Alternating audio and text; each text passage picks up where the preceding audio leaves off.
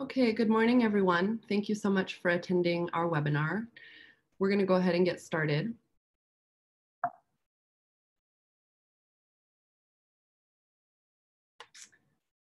So the webinar is going to run from 9 to noon. We will have two 10-minute breaks. So uh, please be sure to uh, pay attention to the talks because passing the poll questions and the quiz at the end are important for getting CEU credits and know that the breaks will be coming. A little bit quick housekeeping. We're gonna be recording this webinar for educational or promotional use. Uh, you will be muted during the webinar. Uh, please communicate with us via chat um, for comments and questions. We will be tracking the questions for our uh, speakers to answer at the end of their presentation. Um, if you chat all panelists, that's only going to the speakers. And if you chat all panelists and attendees, that's going to go to everybody who's on this webinar. So it's up to you how you want to ask questions or make comments. Um, and if you want to receive continuing education credits, you have to stay on the webinar throughout the entire duration. You cannot log on or off. So during the breaks, please don't log off. Just leave the screen up and step away and come back. Um, you have to answer all the poll questions. Um, you don't have to get the poll questions right, but you have to answer all the poll questions during the presentations. Um, and then for CCA credits, you'll be scanning the QR code um, or replying to the post-webinar email. And for DPR credits, there is gonna be a final exam um, that will be sent out in a post-webinar email and you have to uh, get a 70% or better to get your CEUs. The exams, the exam is based on the poll questions, so uh, pay attention to the poll questions in order to ensure a good pass rate. Um, our agenda, I'm doing the welcome now. Our first presenter is Whitney Brim DeForest. She'll be talking about weeds in rice research update. Uh, then Luis Espino will be talking about rice pest management. We'll take a 10 minute break at 10.05 um, and then we'll go into an integrated pest management for processing tomatoes by veg crop advisor Amber Vinchesi-Vahl. I'll be talking about field crop pest management and then we'll wrap up with regulatory updates by Scott Bowden from the Agricultural Commissioner's Office. Uh, we'll have five minutes at the end for a final wrap up and Q&A. And with that, we're gonna go ahead and get started. I'm gonna stop, stop sharing my screen and Whitney, uh, go ahead and pull your slides up. Thanks, thanks for attending.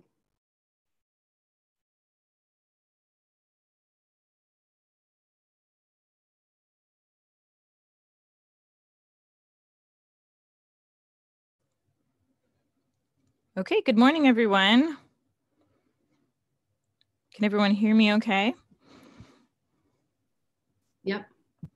Okay. I'll go ahead and get started. So I'm going to be talking about uh, weeds and rice, and this is a bit of a research update from what we've been doing in the past year. Uh, so the first thing I'll cover is our weed survey. So in 2019, uh, right after harvest, uh, we did a weed survey to kind of get a comprehensive idea of what we have in terms of weeds across the valley. Um, we collected soil samples after harvest from across all of the rice growing regions. You can kind of see on the map here uh, where we collected samples from. Uh, we got 10 randomly selected sites in most of the bigger counties. And then in some of the smaller counties, we got a few uh, less sites just because the counties are a bit smaller in terms of rice growing area. So Yolo, uh, Yuba County, for example, we got only five sites each. Uh, Placer and Sacramento, just two because they're very small. Um, we sampled all the major rice growing weeds. Whoops, sorry.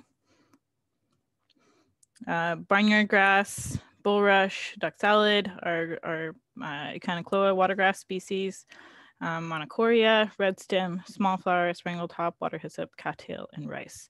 And this isn't completely done. I have a little bit, oh, I'm sorry, a little bit more uh, data analysis to do. Uh, but basically we grew the weeds out in the greenhouse um, for a few months to see what they, what came up in the soil. Um, the soil was again collected after harvest, and that was to ensure that we weren't, uh, when we were doing the survey, that we were getting all of the possible weeds that could come up in rice. Uh, if we did it during the season, there would be a possibility that we would not see everything that was in the field uh, because folks put out herbicides. So we did it in the fall, uh, soil with soil sampling to kind of make sure that we got a comprehensive uh, overview of the weed species. And there weren't a whole lot of differences, um, I will say. Um, some of the key differences are that we saw monochoria really only in Butte County. Um, monochoria is one of the weed species that's on the noxious weeds list for the United States, um, for the entire US. And so it was important to um, be able to show where that was located on a map uh, in comparison to the other rice counties. Um, we did see a lot of rice come up, which is I think because uh, we were sampling in the fall um, and there was a lot of rice on the ground. There was some weedy rice uh, mixed in with the rice that we saw coming up. Um, so that was good that we were able to, to show that as well in the survey. And I didn't differentiate between the rice and weedy rice yet. Um, but basically, we, the, the idea with this is that we'll have a map that will be available up on the UC Rice website that will show sort of the distribution across the valley of our different weed species. Red stem small flower were present pretty much in every field that we sampled as water hyssop was as well, and uh, duck salad. Everything else varied a little bit by region. But hopefully this will be up on the UC Rice website within the next few months. So the two weeds that I'm really going to focus on today are watergrass and weedy rice. So I'll start with watergrass. So we've been dealing with an unknown watergrass species or biotype for the past few years. And to give everyone kind of a background in that, um, we had two fields that were identified in 2017. Uh, from that, Luis and I collected 10 populations for herbicide screening in 2018. Uh, we did some ID work uh, in 2017 with our UC Davis herbarium, Ellen Dean there, uh, and it was the results were inconclusive. Um, Ellen sent uh, those, uh, I don't know, 15, 20 samples that we had uh, two, two different Echinochloa experts, one in Texas and one in Canada, and the results were still inconclusive. Um, so it has become apparent that we need to do some genetic work, um, but the genetics work to do this is, is pretty expensive. Um, so we're starting with some herbicide screenings and phenotypic analysis, kind of like we did with the weedy rice. So looking at how the different uh, biotypes or, or samples that we collect, how they look. So I'm going to focus on the herbicide screening here. So we collected 10 populations in 2018. Um, two known susceptible populations were added as a comparison. Um, these were samples that were collected from the Rice Experiment Station. Um, we know that they're susceptible to our herbicides or fairly susceptible. Uh, we screened them using our highest labeled field rate. Um, it was conducted last spring in the greenhouse. Um, the herbicides were applied at the two leaf stage, so it's very early application timing. Um, and that's usually what we do for resistance screening in the field that would correspond to something between a day of seeding up to about one and a half leaf stage of rice application, which is very early, obviously. Um, so you'll see when I when I show the foliar herbicides that they most of them work very well.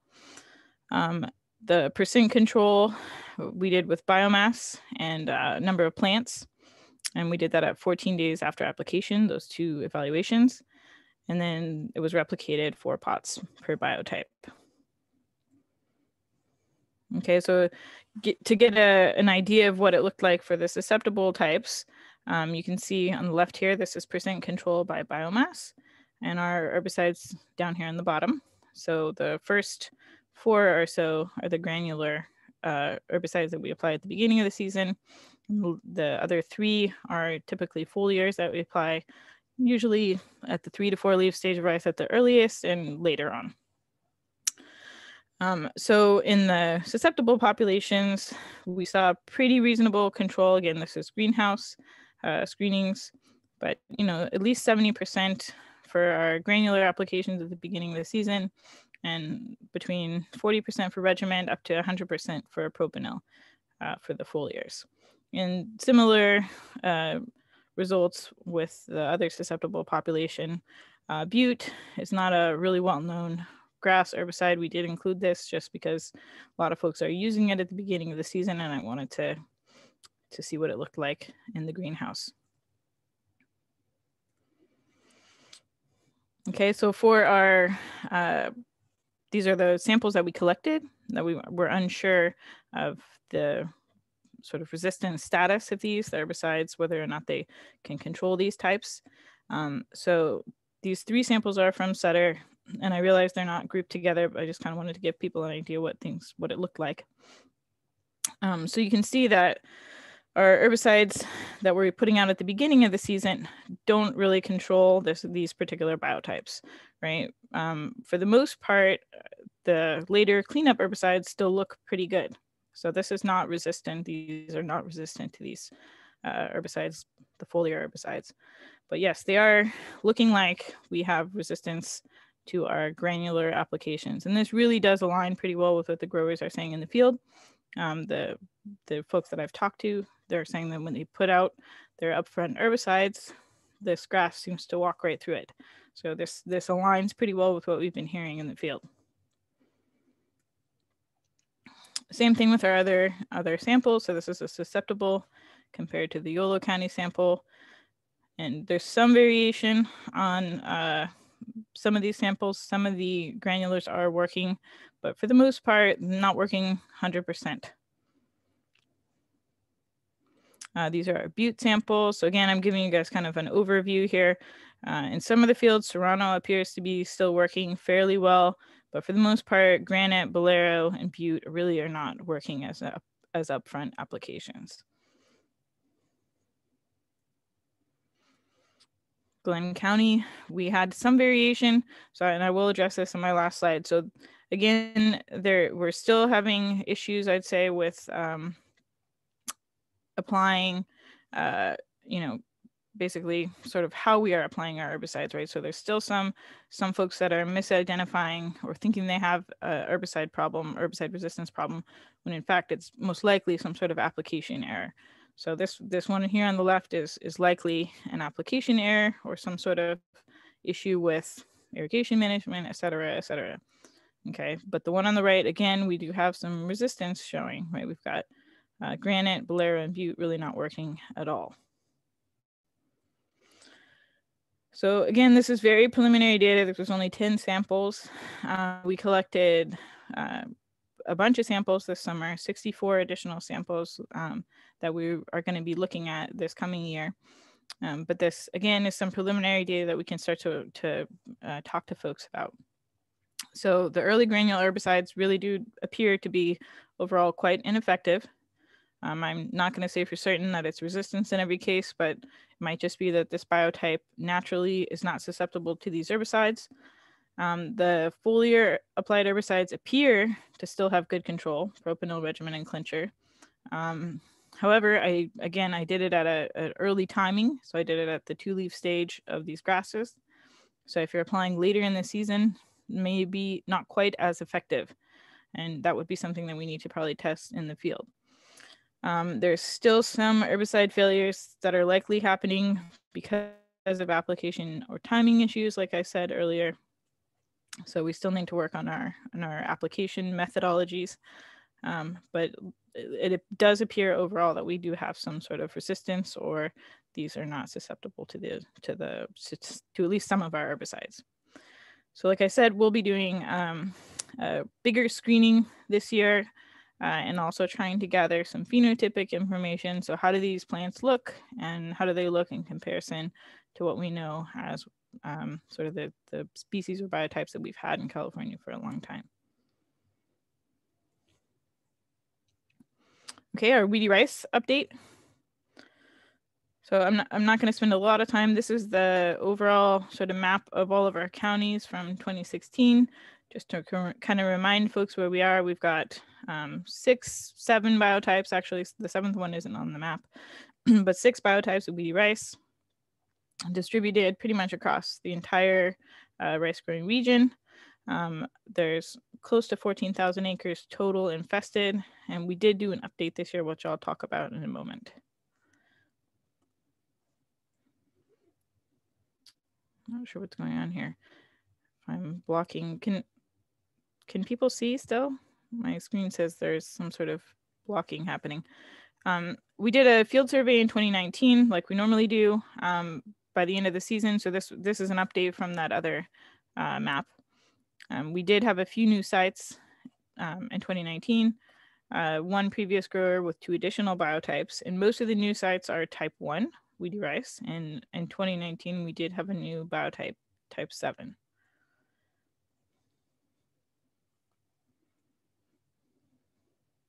Uh, in 2020, we had three new sites, um, all type 1, one in Sutter, one in Yuba, and one in San Joaquin. Uh, we had previous growers also with new types. So that means they had a, a, at least one type already found at their site. And then this past year, they added another additional site.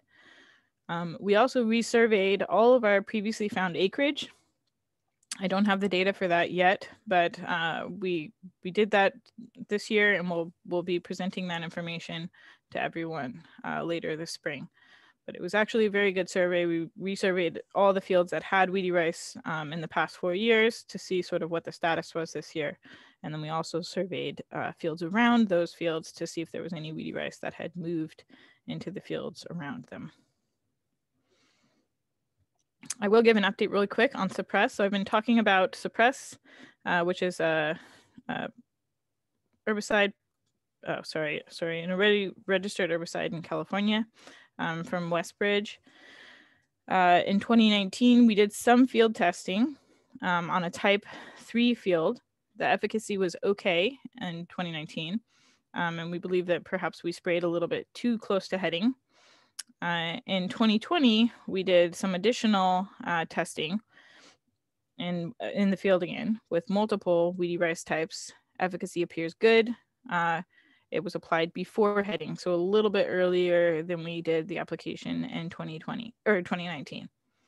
Uh, this year, we also did some greenhouse testing at two different timings, and this was all of the different weedy rice types um, in the greenhouse and it did it did actually look pretty good in the greenhouse. So efficacy was 100% in the greenhouse on the biotypes that we tested, which were uh, biotypes one, two, three, and five.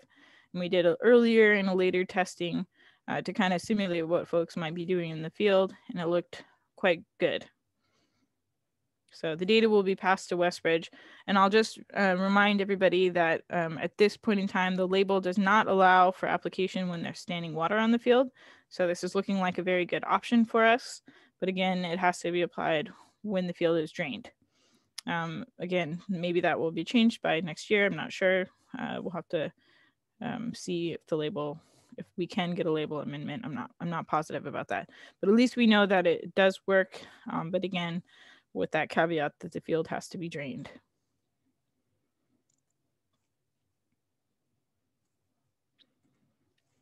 Uh, so just to take a look at what it looked like. So in 2019, um, we did see pretty good efficacy, um, but the plants did go on to recover and there were some viable seeds in the in the seed heads in the panicles.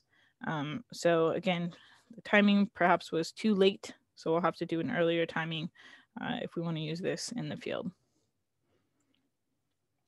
Uh, this was 2020. This was a week after spring, and the application timing, uh, this timing really looked pretty good. The plants uh, we sprayed um, before they'd started to head, and uh, by the end of the season, none of the plants had survived. They completely died, none put out heads. So I think this timing is going to be the one that we probably go for. So it's when you can see the plants in the field, but they haven't begun to head.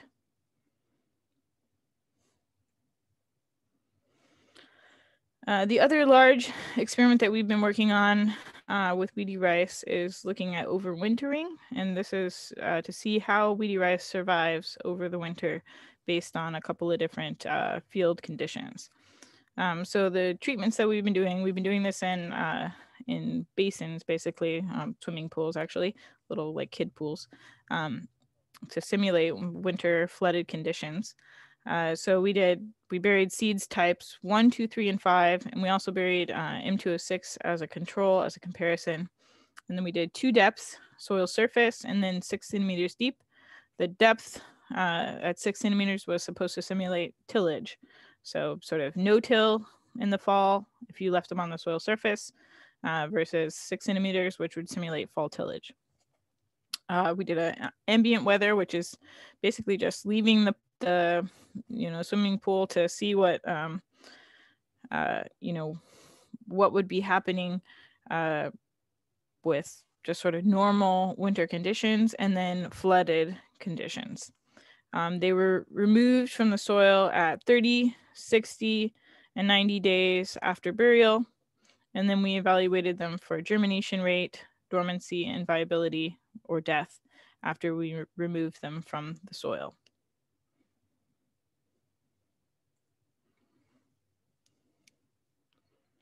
Okay, I'm not going to go over all the different types, but I'm just kind of looking at um, what is happening over the, the 90 days um, that they were in the soil. Um, so 30, 60, and 90 days after burial, um, this was the average percent of dormant seeds. And I kind of just wanted to go over this type or this particular um, uh, evaluation real quick. So basically, um, overall, when seeds are buried under the ground, there's dormancy. So meaning that um, they, if if you reflooded your field in the spring, if you had tilled in the fall and you flooded your field in the spring, um, most of the seeds wouldn't come up okay, if you had done tillage.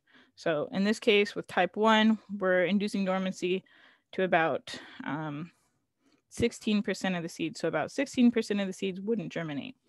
And this, you know, you might be asking why this is bad. Basically, it's bad because uh, it's going to pro prolong the length of time that those seeds are in the field. So if the more of the seeds are dormant, they're going to be in that field for a much longer time. They're not going to germinate that first year. They might germinate 10 years from now, um, when they're brought closer to the, the soil surface again.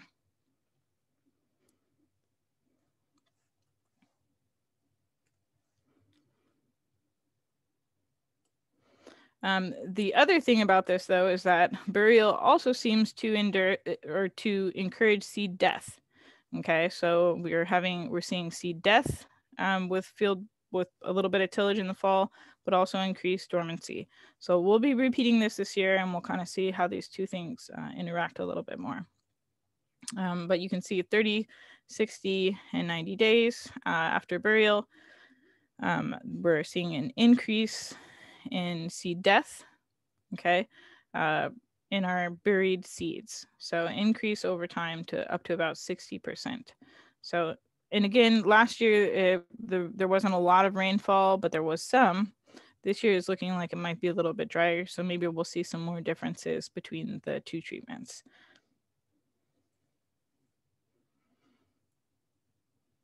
Okay, uh, just to, to quickly go over, there are a lot of differences between the biotypes. So um, this slide is a bit busy, um, but just to to kind of give folks an idea, um, there are some biotype differences. So I'll be, you know, trying to summarize the data along with some of the data that we get this year, um, next next fall, to to give everyone a little bit more of a conclusive idea of what what the differences are. We might have different recommendations uh, for some of the types versus others. So for type five, um, and this corresponds pretty well with what we're seeing in the field. So type five um, there is, is no dormancy. This, this particular type isn't a dormant uh, weedy rice. So basically, uh, any sort of um, uh, fall tillage is actually going to be an improvement in control for type 5. So tilling in the fall for type 5 would be recommended because it doesn't have any dormancy. For the other types, uh, tilling in the fall, you can kind of see this is the tillage in gray uh, here uh, tilling in the fall is actually going to induce more dormancy and again may prolong the amount of time that you that you're having these seeds in the field. So for type one and type two, uh, fall tillage is probably not going to be a recommendation.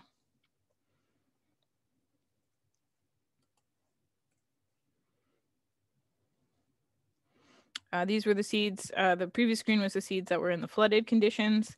Uh, these are seeds that are in uh, actually controlled or ambient conditions. And I think the biggest difference here is with type 5. So we've been recommending flooding uh, up to this point in time. And again, this is preliminary data. This is just one year's worth of data. But it's looking like with type 5, actually burial and no flooding of the field is going to kill the largest percentage of seeds. So this this in here in yellow is the number of seeds that that died over the winter. Uh, this was in a non-flooded fall-tilled field. So this is 81% of the seeds actually died under these conditions. So in that case, doing that would actually be probably one of the quickest ways to get weedy, this type of weedy rice out of your field. So again, there's quite a lot of um, differences between the biotypes. And again, this is preliminary data, but I think it's going to give us some interesting, uh, you know, ideas of how to deal with weedy rice over the winter, especially if someone has a bad infestation. This might actually be um, a really great way to uh, to deal with weedy rice.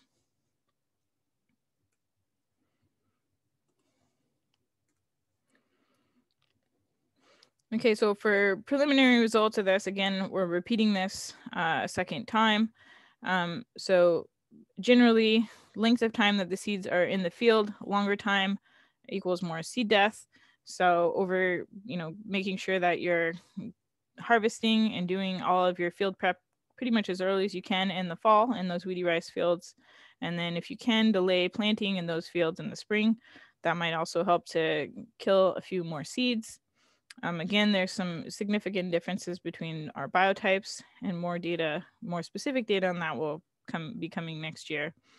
And then the last important point is that burial at six centimeters induces dormancy in some of our types. So basically type one, type two, type three, um, dormancy is induced by, by any sort of fall tillage. So possibly lengthening time in the field, but there is a trade-off. And again, we'll have to kind of tease out how these two things interact.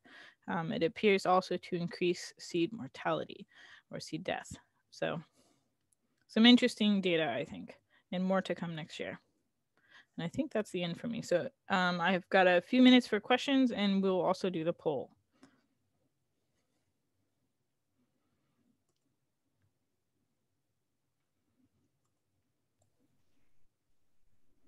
Okay, Whitney, you had one question in the chat. Oh, I'll let you do the poll first. Okay.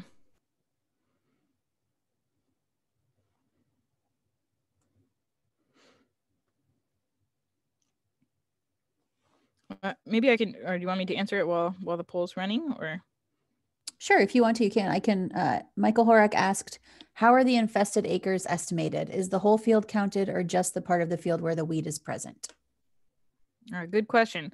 So actually, that was part of the reason we we did this survey, like bigger survey this year. So in the past, we've been counting uh, acres as basically if we found even one weedy rice plant in in the field, or I think we were doing it by check before. So if you found if we found one weedy rice plant in a check, that entire check would be counted on the map as acreage.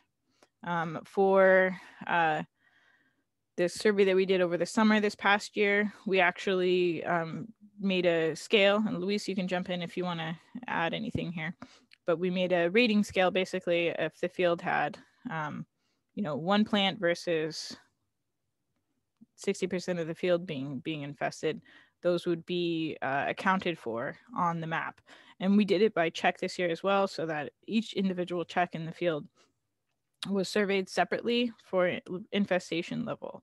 So the data that we got this past year will be much improved versus the data that we have uh, from the past four years. So hopefully that answered the question. Okay, and you have another question. What rate okay. and water volume of suppress? Oh, okay. So I actually went with the highest labeled rate on on on the label, and I can't remember the exact labeled rate, but whatever was the highest labeled rate allowed. Um, for water volume, I did 20 gallons per acre and it, it was done with a backpack. So, you know, a backpack volume.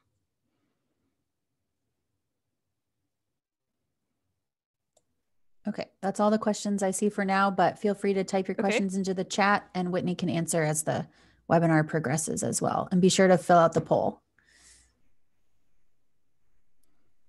Okay, it looks okay. like most people have answered, but Go ahead. Sorry, Sarah. Nope, go ahead. Oh, I was just going to say, it looks like most folks have answered. If everyone who hasn't answered wants to real quick give an answer. Remember this this part doesn't count, doesn't matter if you get it wrong or right, but it counts that you participated in the poll for your CE credits.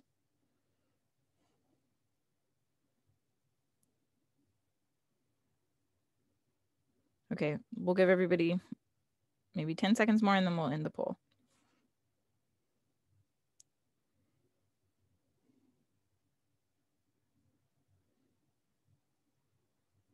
Okay. All right, so it looks like folks did pretty well. So preliminary data about the new watergrass species biotype suggest um, that it's both A and B. So it typically isn't controlled by early into the water granular herbicides. And it, it typically, when propanil and clincher are applied early, they appear to have efficacy. Um, and then question number two, fall tillage induces dormancy of weedy rice. That is true. Um, and that's it. So good job, folks. And again, those those questions will be shown in your after um, your test that you have to take after this. Okay.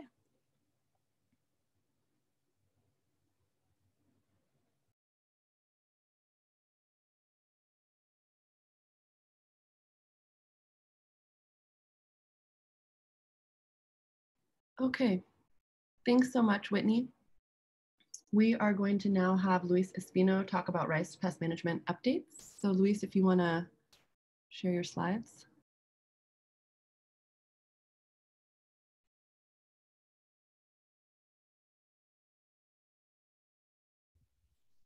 Okay, um, good morning, everyone, and uh, thanks for attending today. Uh, I'm going to talk about uh, here, if I can advance my slide, uh, basically a couple of updates on uh, one on, on army worms, a little bit of uh, work that we've done this uh, this year, uh, looking at uh, insecticides and then the effect of defoliation on plants. And then I'll spend most of the talk um, on rice diseases. A very, I'll try to give a quick um, update or a quick background information on, on the main diseases that we see on rice fields. And then uh, I have some information on uh, some fungicide work that, that I've done this year. Um, okay, so uh, I'll, I'll start with the army worms. So we didn't have a lot of problems this year. Uh, in general, it seemed like the army worm pressure was, was low, uh, maybe moderate. I know there, there was quite a bit of uh, intrepid use, um, and maybe that's why we're not seeing the problems because you know we're controlling the issue. Um, but uh, we continue doing our uh, moth trapping. Um, so you may know that we have these uh, set of traps. Uh, we have 15 traps in different uh, sites across the valley, and we check them weekly, and, and we uh, we count the number of moths that we get. And that that graph you see there is the number of moths per day. And what you can see is we have two distinct peaks. And for three years now, we've seen the same pattern where we get one peak, uh, you know, about late June, early July, and then the next one is in mid-August. And those peaks coincide with when we see larvae in the field uh, feeding and, and kind of the peak of, uh, of the, the, uh, the problems in the field. Um, so we've done a lot of uh, monitoring and trying to count larvae and try to correlate that to, to the number of moths we're getting. And we just don't have a good relationship between how many moths you get on a, on a trap versus how many uh, worms there are in the field. But what we do see is, like I said, the peak of the moth uh, catches gives us the peak larval activity in the field. So if you know when you're, you're re reaching or approaching the peak, uh, you you know that's when you need to make sure you're monitoring which as you see is about the same time every year. Um, but you know it's a good reminder of when is it that you have to be on top of this and, and making sure you're getting in the field and looking for the larvae. Um, so we've always talked about two two species of armyworms uh, that we can find on rice you know the true armyworm and then the western yellow striped armyworm and over the years, I've, I've heard um, growers and PCAs kind of refer to both of them as, as being in rice. Uh, so since the outbreak of 2015, you know, we've been monitoring closely rice fields. Uh, and last year and the year before that, so oh, this year, I'm sorry, 2020 and 2019 was the first year that I was finding some Western yellow striped armyworms. Uh, but the, this, the Westerns, I wasn't finding them eating on the rice. Uh, they've been feeding on rice weeds. So that picture there, you can see the Western yellow stripe is feeding on, um, on red berry. And there was a real big patch of red berry in this field, this field, and the, um, the, the Westerns were just uh, uh, hitting that and defoliating the, the red berry. But they were not feeding on the rice. And I haven't seen any defoliation on rice caused by the Western yellow striped armyworm. And so, um, you know, the, it, it seems um, the, the, the, data seems to indicate or the observations that really the, the armyworm that's a problem for us is a true armyworm. Uh, so if you, you know, if you happen to see the Western yellow striped armyworm is much darker, uh, it's about the same size as the true armyworm as it grows, uh, but it has this velvety look, you know, and, and, and feeling like if you touch it, is is really soft. It's a really, it's really pretty. And it doesn't, it doesn't seem to feed on rice. So that's good. So that's, if you find that, that's something that you might not have to worry about, um, about treating. Now this year, um, we, I got a, um, a notice from uh, the ag commissioner, one of the ag commissioner biologists in Glenn County, and they were seeing some, uh, some Western yellow striped armyworm uh, migrating from an alfalfa field and they were getting complaints from uh, some of the neighbors. They were getting into the houses. So it was a big migration. And I, I didn't get there that day, but I got there like a day or two later. And I was able to see the Westerns, you know, on the alfalfa field. There were quite a few defoliating, but then they were moving out of the field. And as they moved, they, they were um, defoliating, eating the weeds. I don't know if you can see that the, the armyworms there, they're barely they're they're basically on stalks because they ate all the foliage of the weeds around the field. And then they were moving out of the field. They went over a canal. They i guess they swam. And then they went um, uh, over the uh, the pavement into the road and they were moving to to neighboring fields uh, probably into the weeds because there was nothing really. It was uh, it was orchards so there was no rice around this area but this was very interesting to see how uh, you know the pat the the behavior of the armyworms. You know that's why we call them armyworms because they move sort of like an army. Uh, but again, not on rice, so that's good to know. Um, we had an armyworm uh, insecticide trial, and this was on a rice field with uh, some heavy defoliation, but not enough to, to warrant a treatment. Um, as you know, we've been getting Intrepid uh, every year as a Section 18, and uh, full registration is on the works. It might be um, uh, 2022 when we get it.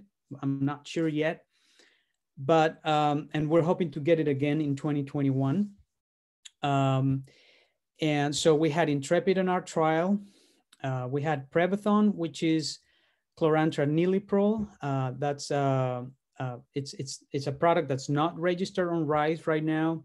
We've tried it in the past and it's worked it's worked good, and we're hoping that it becomes available sometime in the future. Uh, and then we tried Dipel, which is a BT, so it's an organic insecticide, a, a bacterial insecticide. We didn't include uh, Lambda uh, or or Warrior because we've we've tested it several times in the past and we don't get good control with Warrior. And in fact, we we didn't include it in this trial, but we had another trial right next to it uh, where we were testing a uh, an additive. So we were testing the lambda with an additive to see if we could increase the efficacy of, of the lambda, and it just it didn't work. Uh, we we saw no differences with the untreated. But anyway, so on this trial though, uh, you know we we counted the number of worms we could find in a, during two minutes uh, for every plot. And so we did that at, at zero. So before we put out the treatments, four, six, and 11 days after the treatments. And here's the number to look at is the percent reduction from, from the pre-treatment. And, uh, you know, Intrepid and Prevathon give us really good control over 90%. That's what we've seen in the past. Dipel didn't get to 50%, and that's what we also seen before. um, you know, when we put this treatment, it's about the time when you start seeing the defoliation. So the worms are already past the initial instars. They're a little, they're bigger.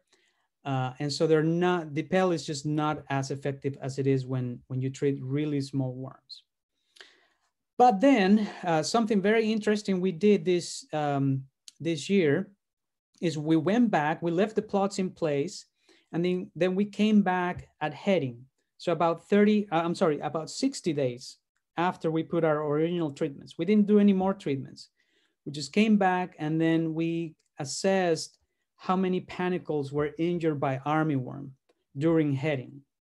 And it was, it was really clear there, uh, that there was a residual effect of the Intrepid and the Prevathon, where we saw you know, very few injured panicles, uh, where we didn't have the, the control early on with Dipel and the untreated, uh, there were uh, you know much much higher number of injured panicles.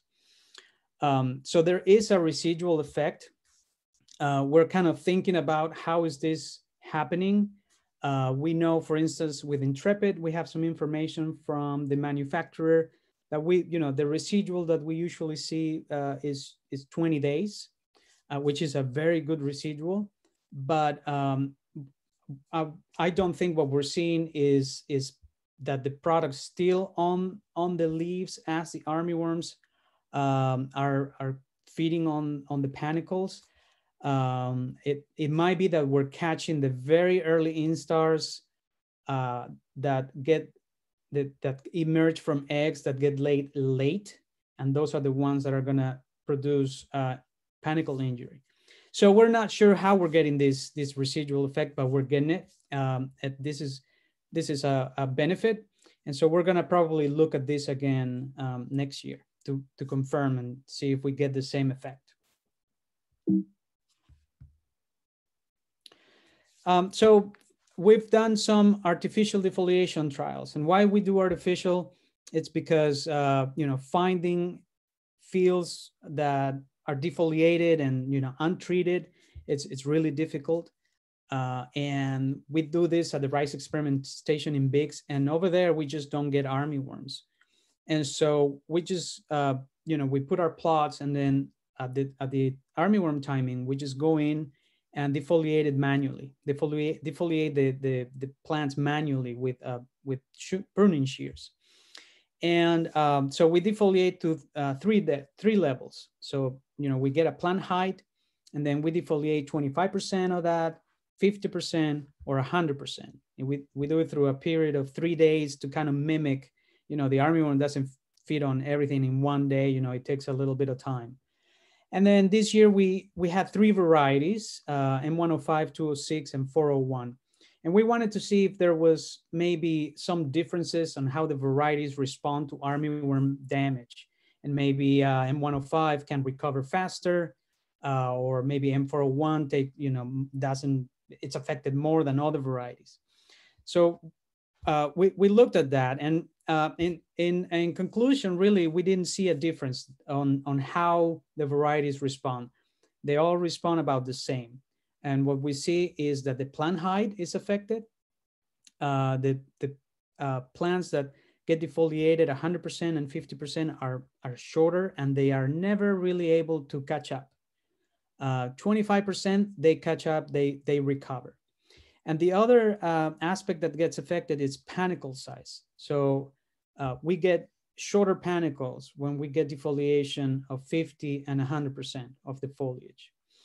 Um, we didn't see an effect on uh, uh, how heading progressed or on number of panicles per square foot. Those seem to be unaffected. So the plants are able to put the same number of uh, panicles per square foot um, and about at the same time as, as, the, uh, as the controls. But the panicles are smaller, the plants are smaller. And then we saw an effect on yield. And when we have 25% defoliation, we don't see any, any yield effect. Uh, but when we got to 50% uh, and 100% defoliation, we get a, a, yield effect. And so very small at 50%, 4% yield loss and 26% yield loss when we defoliate 100%. And when I say 100%, this is to the water level. So we cut everything to the water level, just like the armyworm would do. They, they eat everything and they, they leave a little bit of the tiller up above the water. Um, so this is kind of indicating that our thresholds that we currently use, 25% is our threshold. It's, it's, a, good, it's a good threshold. Um, at that point, we shouldn't see any, any yield effects. It's when we go above 25%, 50% that we start seeing yield reductions. Okay, so now I'm gonna uh, move into uh, the diseases. Uh, and so I'm gonna start with stem rot. Uh, this is a disease that's pretty, pretty common. You'll find it in every rice field. Um, in recent years, I've, I've been getting more and more calls about stem rot. Uh, you know, when it's bad, you'll see something like this. You know, a lot of the tillers have these black uh, lesions at the water level. Uh, later in the season, you see the white sporulation of the fungus.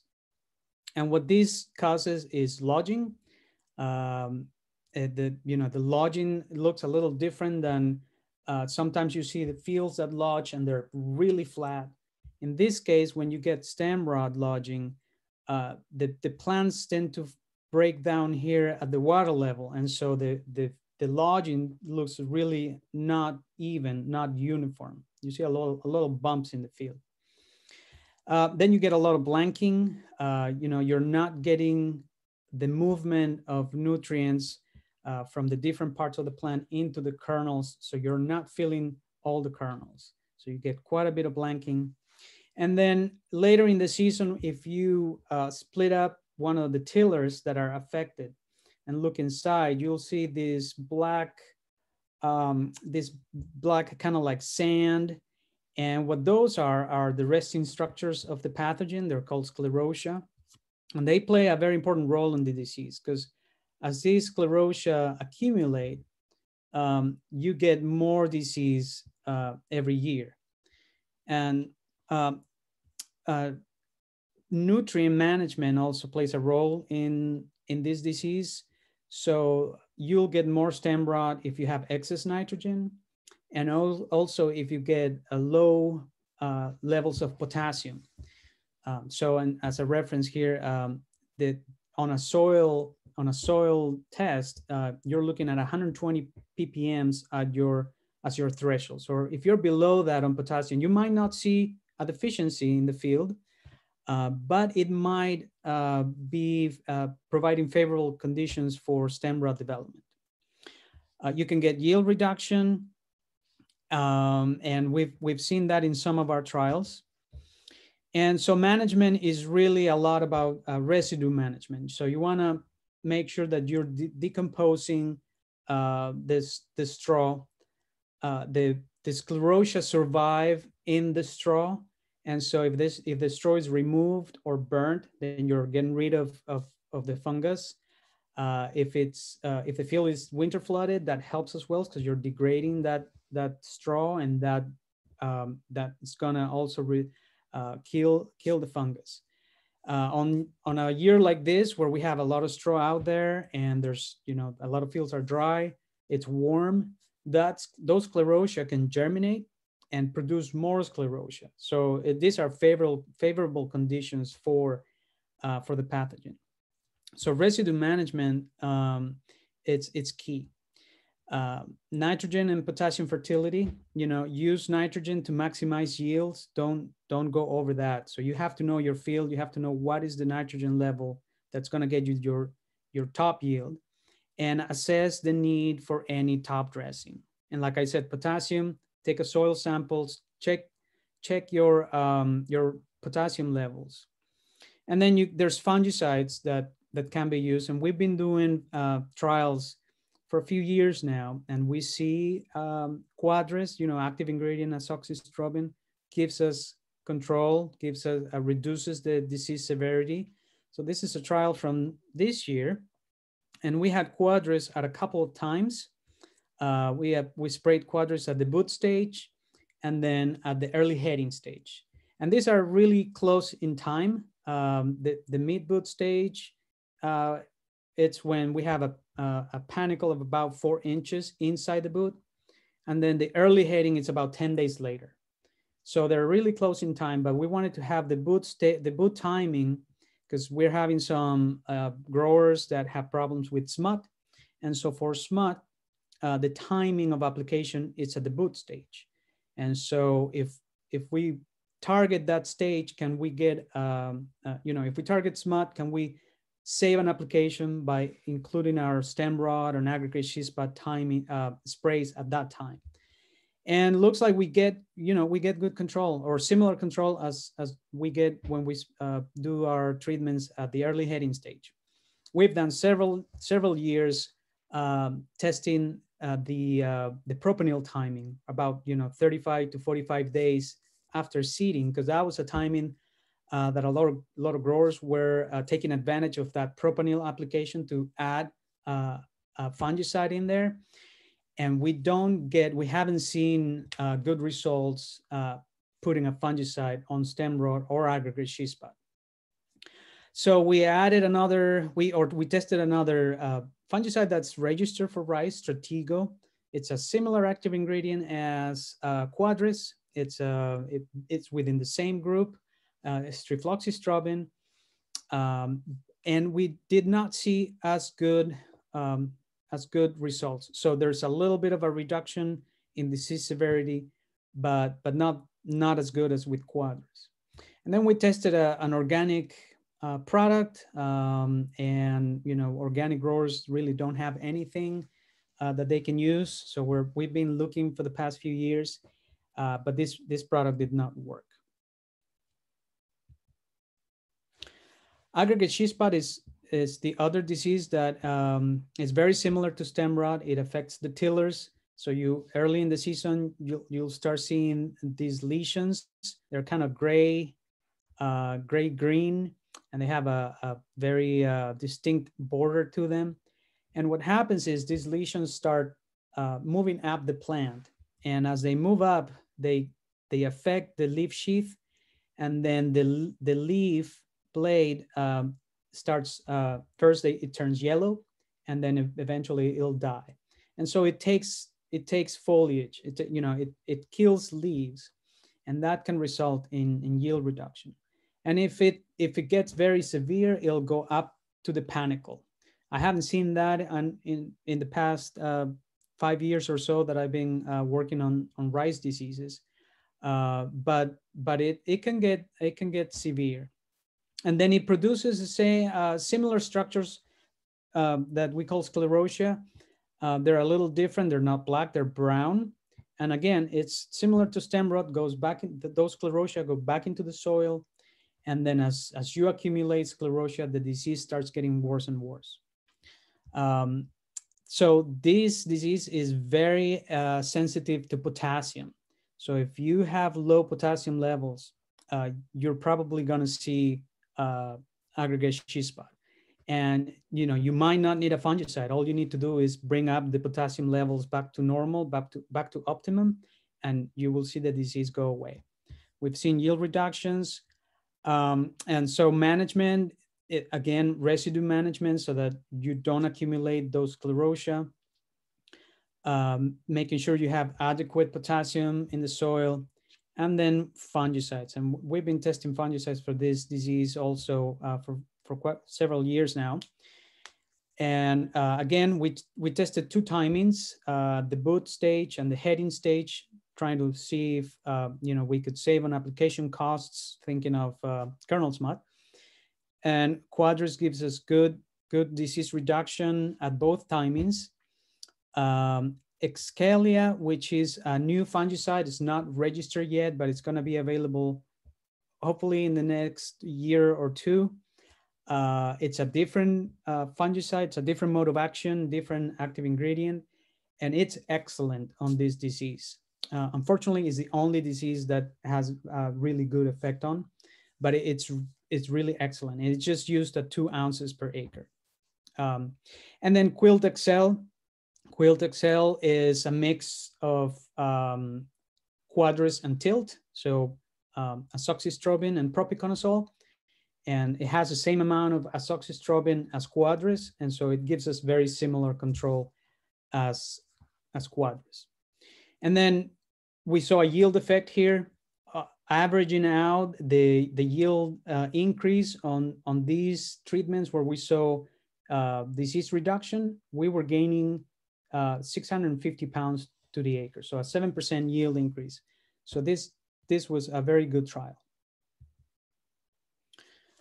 Um, kernel smut, it's uh, another disease that um, we've been seeing lately. It was first uh, seen in California in 19, mid 1980s and really uh, hasn't, it didn't give problems or it didn't cause any problems for a few years until maybe the mid 2010s when I started to hear concerns from PCAs asking me, what is this kernel smut? Um, you know, we see it more and more. It didn't seem to be causing any issues at that time. But 2018 was really bad. 2017 was bad too. And what it does is replaces the kernel with this uh, mass of spores, you know, and it can be partial or it can be the whole kernel. Um, the, so uh, we get spores that are in the seed or it can be in the soil. And we don't understand the cycle of the disease very well. But um, the, the, the pathogen is favored by excess nitrogen and high humidity. So whenever we have 2018 was a year where we had the fires early, you know, a little earlier than this year, and that might have been a factor, you know, uh, providing more more dew, more humidity during the during the uh, late part of the season. There's an effect on yield and grain quality. We we had some trials this year where we saw a, a strong effect on yield. And so management is making sure you're using the amount of nitrogen that you need to uh, to maximize your yield and don't go over that. There's some uh, effect of uh, which variety you have and then fungicides. And I have some slides on that. So here's the, the, the smut on different varieties. So this is the number of smutted kernels in 25 grams It's a sample we take at, at harvest. Uh, and about what, what we, we see in general and what we've seen over the years is that the medium grains are less susceptible than the long grains. And then the short grains are um, even less susceptible. Um, you can see that with uh, Calhikari 202, uh, we didn't have much smut.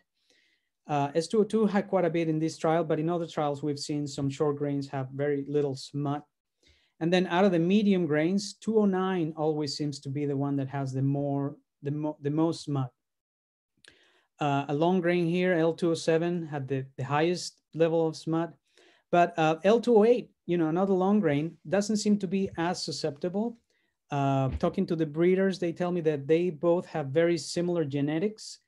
Um, so uh, the reason why they're different, um, it's, it's not totally clear. Uh, then uh, we had a trial looking at the effect of nitrogen, and I'm just showing here uh, the, the untreated plots.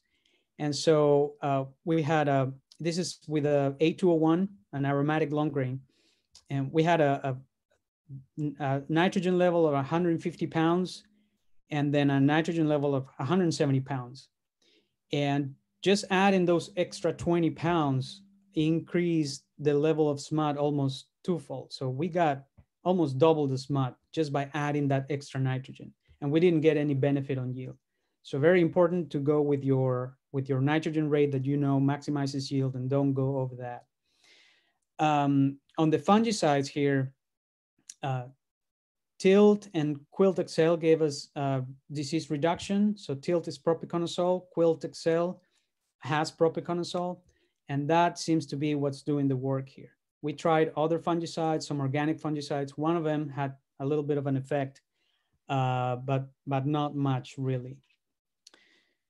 And um, there was a question about smut and and in the seed and is bleach helping us? You know, we do this this uh, bleach soak of the seed. Is does that have any effect on the smut spores? Uh, so we did a trial with uh, in collaboration with Texas A&M, and uh, the short is no. It doesn't seem to help. So we don't get any reduction in spore germination if we treat our seed with, with bleach. So actually in this, in this experiment, we saw more smut germination when we treat the, the, the seed with bleach. Um, so it doesn't seem that the bleach does anything for us. I just have two more slides. And I wanted to talk about blast real quick. Blast was bad this year, uh, especially on the north part of the valley. Um, you know, we can get leaf blast, uh, panicle blast, which is the, the, the phase of the disease that, that causes the most problems. Um, you know, I'm not gonna go over much detail. I think all of us are, are pretty um, uh, familiar with blast by now, but I did wanted to mention that um, when it comes to varieties, you know, this year M205 and M209 was, were just terrible with blast where, you know, PCAs were doing two applications and still the blast was coming, uh, go, you know, was, was still affecting the, the field. So uh, many, many times I brought up M210. It's a resistant variety, uh, but I got a lot of questions about, you know, how it, how it behaves. And so I wanted to show this, um, this table here. M210 is really an, an M206 with blast resistance. And so this is four years of data from our statewide variety trials. And really yields are the same as M206. Uh, days to 50% heading, uh, plant height, lodging, it's it's basically they're basically the same. So um, you know, if you're in one of these areas uh, up in Glenn County, Colusa, Butte County, where where you see blast um, regularly, uh, this variety would be a good option. I mean, you wouldn't have to worry about blast. It, this variety is is resistant. And that's my last slide. I think now um, Sarah or um, Renee that we're gonna launch the questions.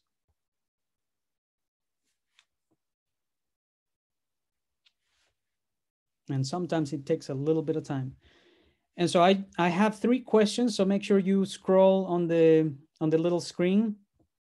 Um, so the first question is, true armyworm is highly susceptible to pyrethroid insecticides. Is that true or false? I think we, we talked about that.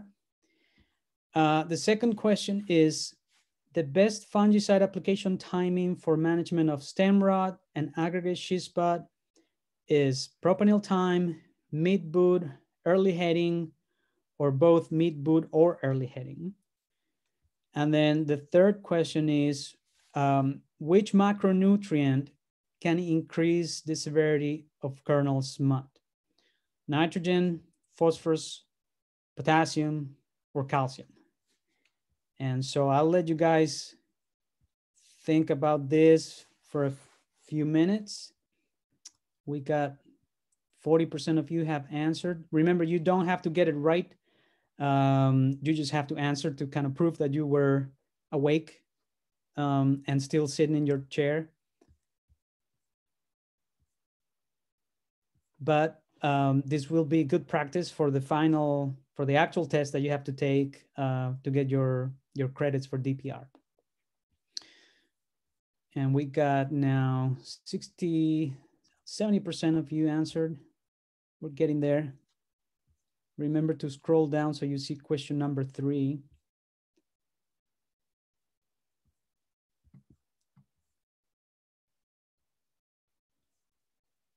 We'll give it another one more minute.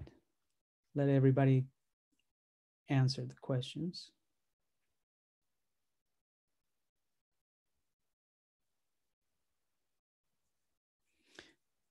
Well while we do that. I, I you know i was going to mention i wasn't sure if i was going to have time.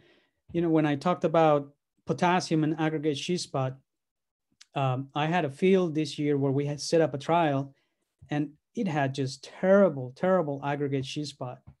And so we took leaf samples to see what was the potassium level and we were getting uh, i mean 0.2 0.3 percent and the optimum is 1.5 percent so we were way below the, the optimum potassium level. And that's why we were seeing such, such you know, uh, severe disease in that field. So, you know, I'm, we're going to talk to the grower and make sure they address that. And I'm sure addressing that potassium is going to go a long ways in fixing the, the disease issue. So we're at 86%. Um, we got one minute. So I'm just going to end the poll now so we can look at the results. Okay, so true armyworm is highly susceptible to pyrethroid insecticides. So that is false. Um, we just don't get good levels of control with, with pyrethroids. Even when we treat early to try to catch the small worms, we just don't get good control. Uh, we tried uh, piperonyl butoxide, which synergizes the, uh, the, the pyrethroid, and uh, it, it just didn't work. Um, the best fungicide application timing for management of stem rot and aggregate sheath spot. It seems to be the mid boot or early heading. So at those times when we uh, use a fungicide, we seem to get the best response. Uh, time, we've, I think last year, um, I counted out of 18 trials, we saw good results with propanil at propanil time in one trial. So in general, propanil time is just not um, the right time to put fungicides. Um, and then what macronutrients can increase the severity of kernel smut? And yes, it's nitrogen. Nitrogen, just a little bit of extra nitrogen, you know, as, as shown uh, by the trial this year, can really uh, make a big difference in into how much smut you get. Okay, so I'm gonna stop sharing and I'm almost out of time, but um, if there are questions, I'll be happy to address. Yeah, if you have any questions, please type them in the chat for Luis and he can answer them during the break. Thanks.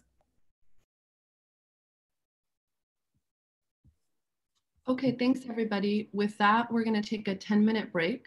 Um, please do not log out during the break. Talks resume at 10.15. See you then, thank you.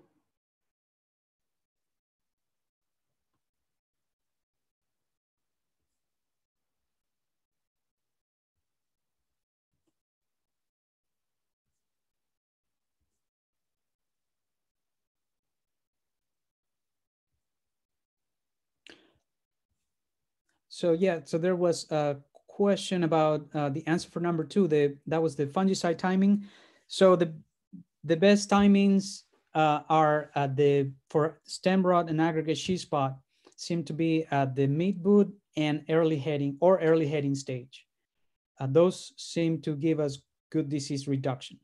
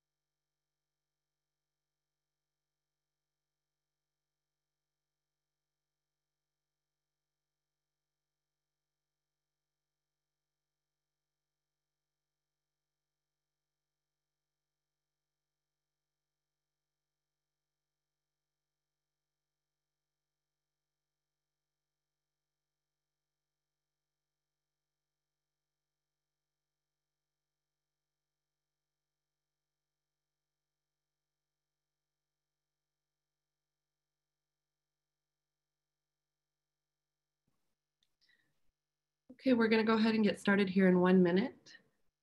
Amber, if you wanna get your slides launched, we can get started in. Yeah, I just, uh, here we go. Um, I need you to stop sharing. There we go.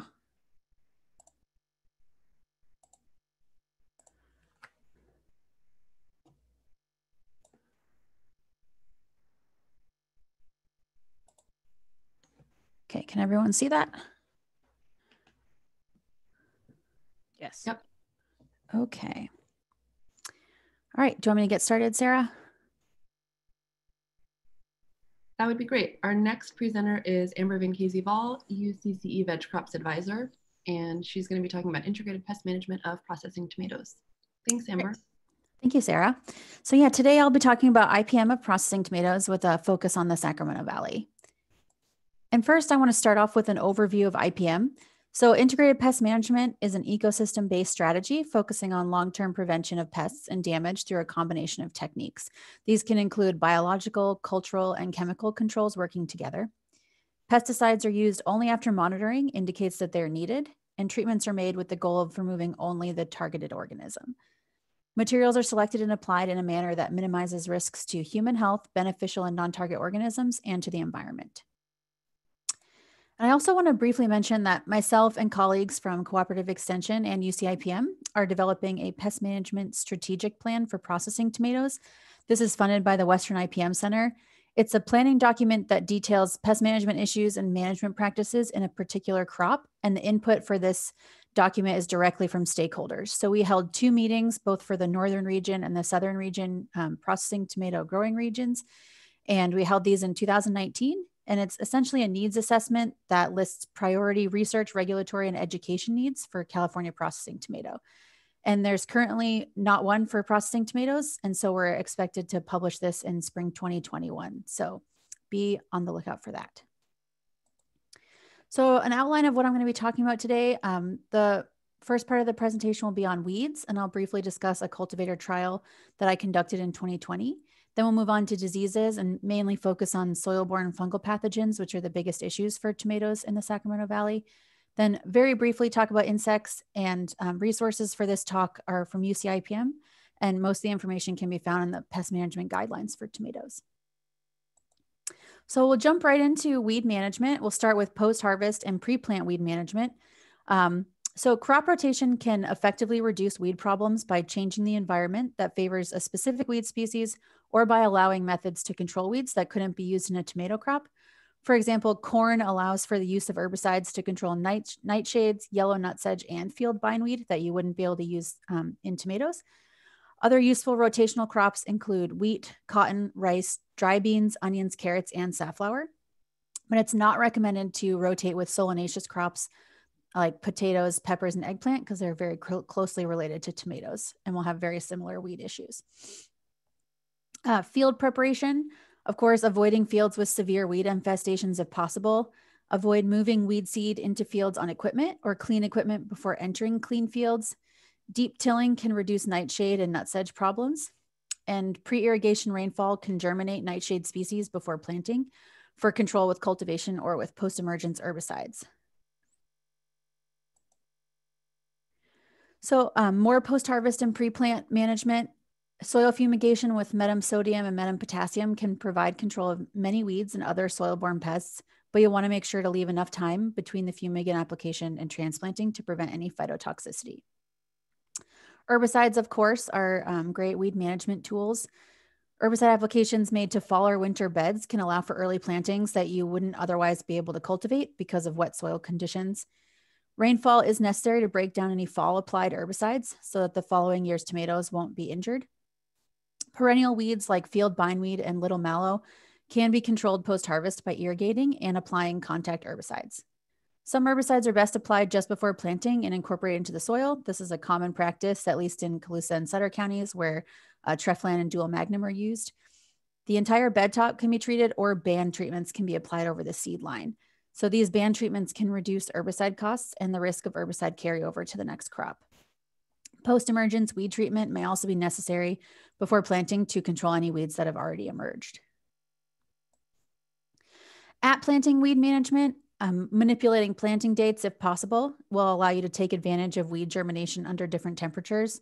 For example, early plantings under cooler soil temperatures can usually avoid any barnyard grass competition uh, for young tomatoes. Transplanting, of course, which is pretty standard practice, gives the crop a growth advantage over weeds. And standard cultivation can further reduce weed populations along the side of the plant row. After planting, uh, cultural practices like preventing weeds from going to seed and keeping canal banks free of weeds can help a lot. Avoid, again, avoid moving weed seeds into the fields on equipment or clean your equipment before bringing it into the field. Keeping bed tops dry. Uh, this is easier to do with drip irrigation. Um, by keeping the bed tops dry, less weeds are likely to germinate on the soil surface, though perennial weeds like field bindweed are still likely to remain a problem under drip irrigation. With furrow irrigation, maintaining alternate row irrigation prevents overly wet conditions. For uh, cultivation and hand weeding, mechanical cultivation reduces hand weeding needs later. And in the Sacramento Valley, um, in row cultivators like the finger weeders have been um, gaining popularity. And I'll talk a little bit about those when I get to my research trial. Also, post emergence herbicides apply as directed on each side of the seed line and immediately incorporate or you can do variable rate lay-by applications that will reduce your herbicide costs with no loss in weed control or tomato yield. So this would be applying full rate in the furrow and reduced rates next to the crop. Common weed problems in tomatoes are uh, field bindweed, nightshades, nutsedge. I'll talk a little bit about broom rape on the next slide. And all of this information can be found at the Integrated Weed Management um, page with UCIPM. So broom rapes are root parasites. They attach to the host below ground, and at high densities, they can greatly reduce yield or result in crop failure. So there's two species that we have in California, branched broom rape and Egyptian broom rape. Branched broom rape is A-listed. It's a pest of known economic or environmental detriment that is not known in California or is present in limited distribution that allows for the possibility of eradication or successful containment. It's subject to state enforced action involving eradication, quarantine, regulation, containment, rejection, or other holding action. Egyptian broom rape is a Q listed pest. This is an organism or disorder suspected to be of economic or environmental detriment, but whose status is uncertain.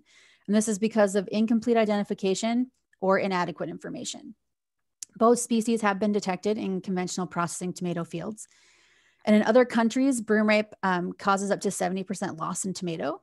In California, currently, we're scouting, reporting, quarantining, and then crop destruct. Our short term goal is to minimize spread. There's no current data on control of either broom rape species with any California registered pesticides. So there's a need to develop mitigation approaches to um, stop this. Hopefully, this broom rape won't spread um, significantly around the state. And there, Brad Hanson, a weed specialist at UC Davis, and his grad students are um, doing some work on, on broom rape and pesticides as well. So I want to talk about a trial that I conducted with my colleague Scott Stoddard down in Merced County this past year. We wanted to evaluate weed control time and costs of using automated and mechanical cultivators as part of a weed management program. So we compared these in-row mechanical and robotic weeders to standard grower practice and post-emergence herbicides. We had trial sites in both Colusa and Merced counties. So we used the RoboVator thanks to a vegetable weed specialist in Salinas, Steve Fennimore, who allowed us to borrow his machine. It's an automated weeder that uses cameras and vision technology to differentiate between the tomato and weeds. And I'll show you this in videos on the next slide. And we also use the finger weeder, which I mentioned is gaining popularity in um, the Sacramento Valley. I know a few growers who have purchased them this past year. It's uh, it uses uh, interlocking fingers to pull up weeds within the plant row. So we found that the RoboVator provided good weed control in the Colusa field, but caused significant crop injury in the Merced field. And when I show you the video, you'll see how this could be possible if the machine is not calibrated correctly. The finger weeder provided excellent control in Merced and very good long-term control in the Colusa field, up to four weeks. And we were funded by the California Tomato Research Institute, and we're currently working on the final report. So some of that data will be shared in a newsletter coming out soon. Okay, so here's the RoboVator. And you can see that the blades open around the tomato plant and then pull up weeds within the plant row. So if this wasn't calibrated correctly for spacing, um, you can see how it could also pull up tomato plants and cause crop injury. This is from the Colusa field where it worked really well. And then for the finger weeder, you can't really see it, but this is a five bed finger weeder that my grower collaborator purchased for 2020. And I just wanted to show how fast it can move through the field. Okay. Uh, now we'll move on to uh, processing tomato diseases. This is a summary table of fields with the most common diseases that I saw in the last five years. These are just fields that I was called out to with confirmed uh, confirmed results from the from Cassandra Swett's lab at Davis. She's our field and vegetable crops extension pathologist. Um, or these were confirmed um, with an AgDia immunostrip test for bacterial canker and then um, double confirmed with her lab. So I'll be going through each of these in more detail. A lot of these diseases are wilts and crown rots, and they're very difficult to, to differentiate in the field. So I want to start with bacterial canker. There's two types of infections for bacterial canker, and I did see more of it in the field in 2020. Uh, systemic infections are where the bacteria invade the plant. The oldest leaflets will curl. You'll see poor growth and wilt, and cankers may form at the nodes. There also may be some stem cracking. The source for the systemic infection is generally seed and transplants, or it overwinters in plant residue in the field. Secondary infections is where bacteria cause local infections on the leaves, stem, and the fruit. The margins of the leaves become infected. You'll see dark brown lesions like the photo of the foliage at the top here, uh, irregular leaf spotting, and you may even see the bird's eye spot on the fruit, which you can see in this picture as well. Uh, bacterial canker survives indefinitely on tomato tissue if it doesn't decompose. and certified seed will reduce your chances of infection and also using clean transplants. If you do identify this in the field, do not work the field when the foliage is wet. This is um, how secondary infections can spread from contaminated equipment, splashing water, and this will lead to localized infections. Also, be sure to turn under any infected plant residue so it can decompose at the end of the season and it is recommended to rotate to another crop for at least one season if possible. Now I'll move on to our various fusarium problems in the Sacramento Valley. Fusarium crown and root rot, or Fusarium oxysporum radicis lycopersici, is becoming more common and widespread. Uh, any stunted, wilted, or older plants may die. It can also look like tomato spotted wilt virus or alfalfa mosaic with the foliar symptoms. You'll see yellowing on the margin of the oldest leaves and then necrosis. The plant will slowly decline over many weeks. And it's, to, I wanted to note that the crown rot is a localized lesion on the plant. The stem will be brown on the outside and rotten on the inside, and you may often see the roots decaying as well. It overwinters and survives for many years in the soil as spores and is favored by cool soil temperatures and spread by machinery and transplants. There are some resistant and tolerant varieties available, and I wanted to um, note that this photo is a field that was co-infected with Fusarium crown and root rot and root knot nematode. So those two together really brought these plants down. Fusarium falciforme, some of you may have heard of this and some may have not. This is a new problem. Uh, it's a stem and crown rot and leads to vine decline. You may see branch or whole plant chlorosis, deep leaf curling, deformities, and little leaves. The leaf speckling can lead to leaf death and then the whole plant dies. And these pictures are all from Cassandra Swett and studies that she's done at uh, one of the UC Davis research farms.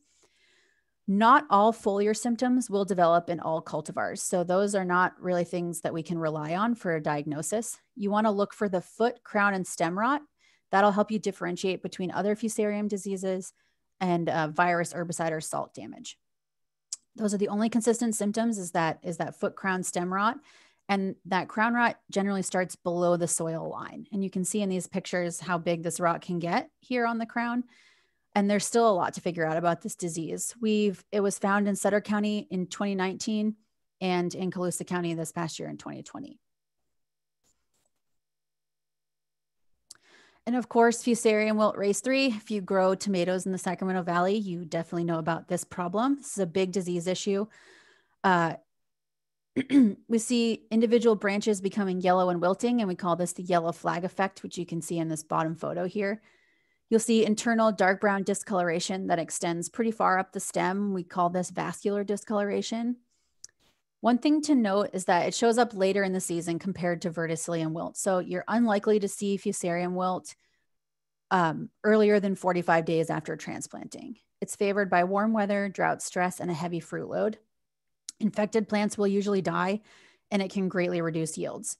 It overwinters and survives for many years as spores in the soil and even on other plants without causing them harm. The Swett Lab is doing, and her um, postdoc, Kelly, is doing a lot of work on fusarium wilt and crop rotations to see what effect fusarium wilt of tomato has on these crops that are commonly rotated with tomato. It's uh, spread by soil on machinery. Uh, management includes resistant varieties, which are great. Um, but again, if you have root knot nematodes, sometimes the resistance can be broken. And we're going to be hopefully looking into this, this relationship with these fusariums and root knot nematode in the future cleaning farm equipment, again, avoiding nematode infestations, and rotating out of tomato for several years to reduce inoculum level. Verticillium wilt can easily be confused with fusarium wilt. Older and lower leaves are the most effective, and it has a very wide host range. So you'll see these yellow V-shaped lesions um, that narrow from the margin on older leaves, and then the plant will, the leaves will turn brown and die. You can see this V-shaped lesion on the bottom photo here. You'll also see that vascular discoloration, the light tan discoloration appearing in the tissue at the base of the plant. The fungus survives as microsclerotia in the soil and persists indefinitely. It's favored by cool soil and temperatures, and it's usually an early season issue. Like I mentioned, if you see a wilting disease before um, earlier than 45 days after planting, it's probably verticillium wilt and not fusarium wilt. It seldom kills plants, but will reduce vigor and yield.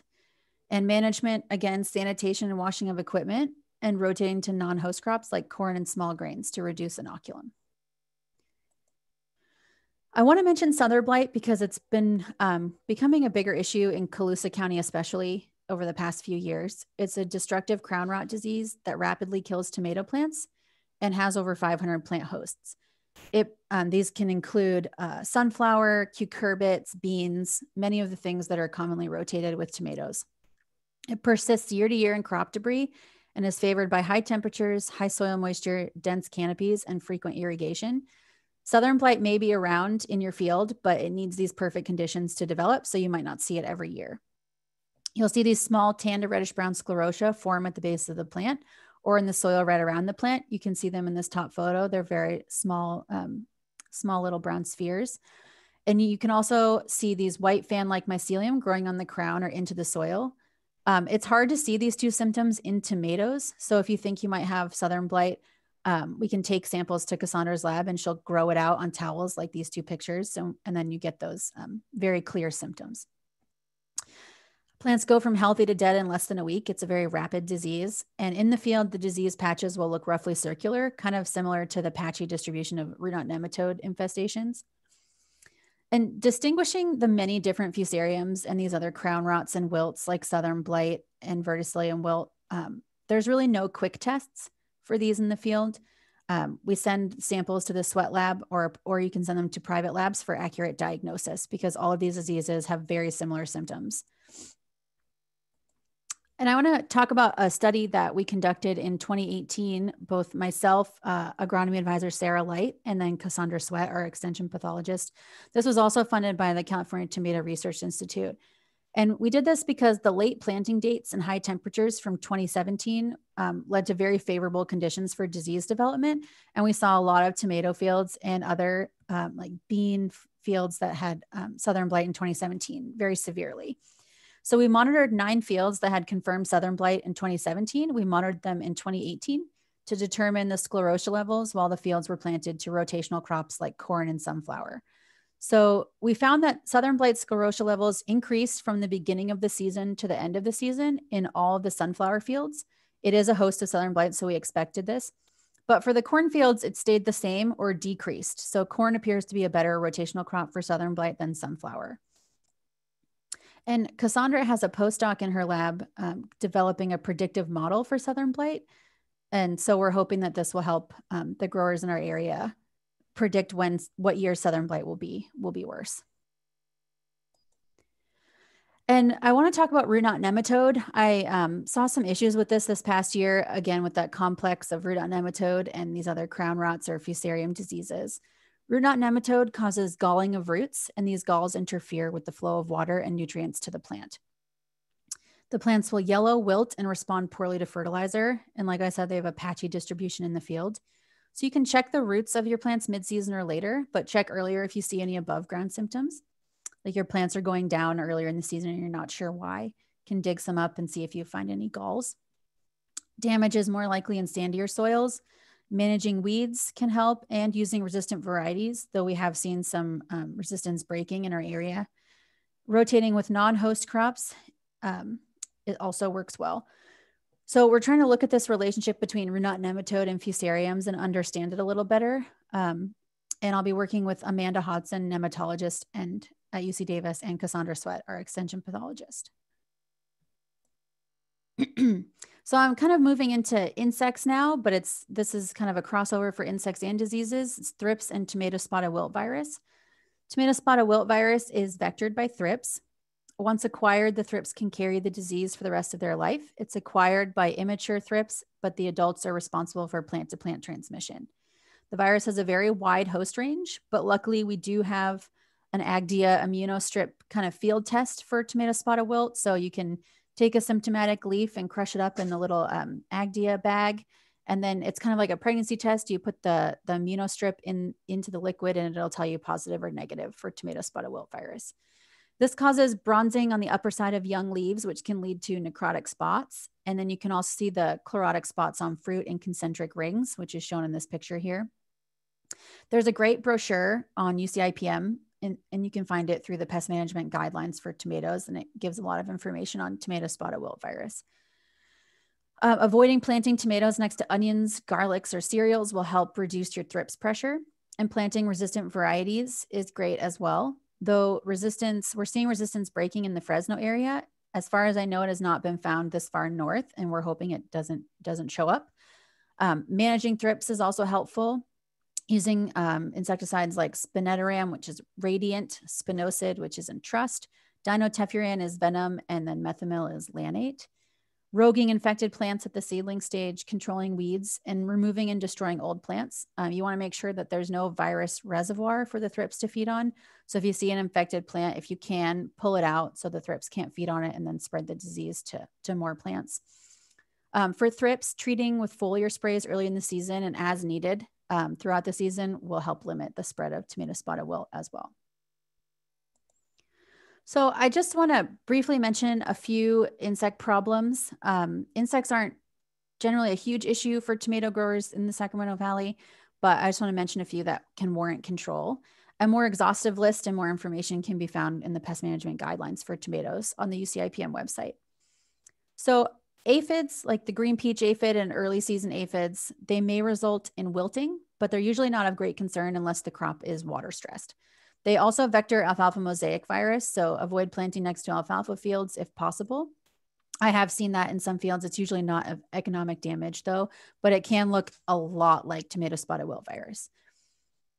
Um, management, natural enemies are usually pretty good about controlling early season aphids. Um, but if not, insecticides like Movento, Fulfill, and um, neonics uh, like thiamethoxam, which is Actara or Platinum, flonicamid, which is Belief, and then other neonics like acetamiprid and imidacloprid, which are Assail and Admire Pro.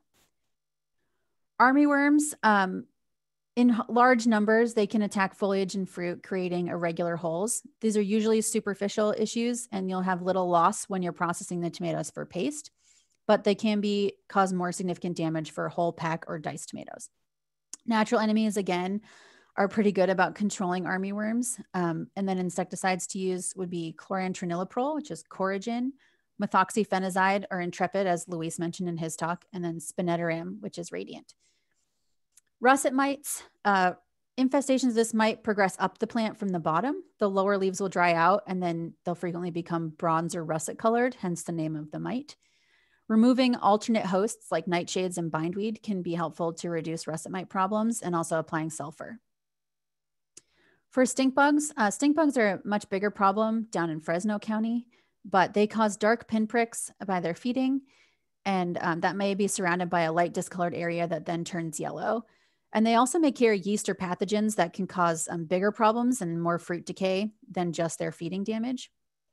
Uh, to manage stink bugs, destroying weeds like legumes, blackberries, Russian thistle, mustards, and little mallow is helpful because those are great overwintering hosts for adults. So you can get rid of those areas for them. For wireworms, which I know can be a problem for certain growers in the area, wireworms are the immature stage of click beetles and they live in the soil and they can chew on and bore into the larger stems and roots of transplants. So management includes um, diazinon, clothianidin, or belay, imidacloprid and acetamiprid again, Admire Pro and Assail, respectively. And just um, be sure to always follow label instructions for rates and timings for insecticides. And so, with that, uh, thank you for listening. Um, if you'd like to subscribe to my newsletter, I post research updates and local pest information on vegetable crops in Colusa Sutter, and Yuba counties. And at the, you can find the subscription uh, at the University of California Cooperative Extension Colusa County website under vegetable crops. And then I think with that, we'll launch the polls and I can take um, any questions. So I have three questions here for the polls. Uh, which of the following is not a post-harvest pre-plant weed management method? How can you manage Fusarium wilt race 3 in your tomato field? And Fusarium diseases and crown rots are difficult to distinguish from one another in the field. So I'll give you a few minutes to answer those. Thank you, Amber. And please post any questions for Amber in the chat.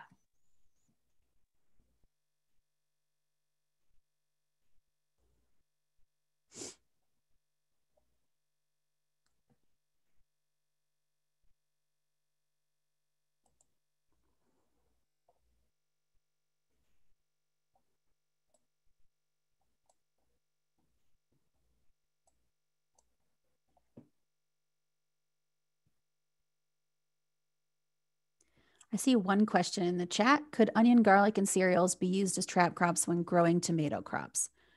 Um, potentially they could. If you were going to control those for thrips, I would be a little worried about thrips move very quickly and they're very small. So, um, but if you planted them kind of next to the tomatoes, I think certain thrip species would be more attracted to the garlic and onion than to the tomatoes. But you do you may be increasing your risk for tomato spotted wilt virus. I know we've looked at onion also as a rotational crop for um, southern blight because in tomatoes, you can't really spray any fungicides to control southern blight because of the tomato canopy. But with um, onions or uh, garlic, it's easier to get to the crown. So you'll still see southern southern blight can also infect onion and garlic. So you you have that risk, but it's easier to control because you can get to the soil and the crown of the plant where the southern blight microsclerotia are, are hanging out.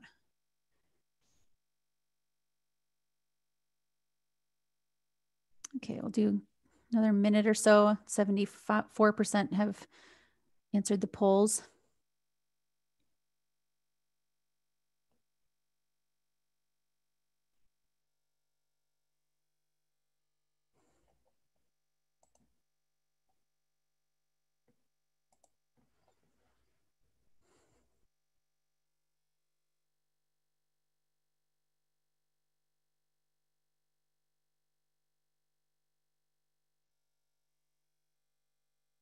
Okay, do a few more seconds.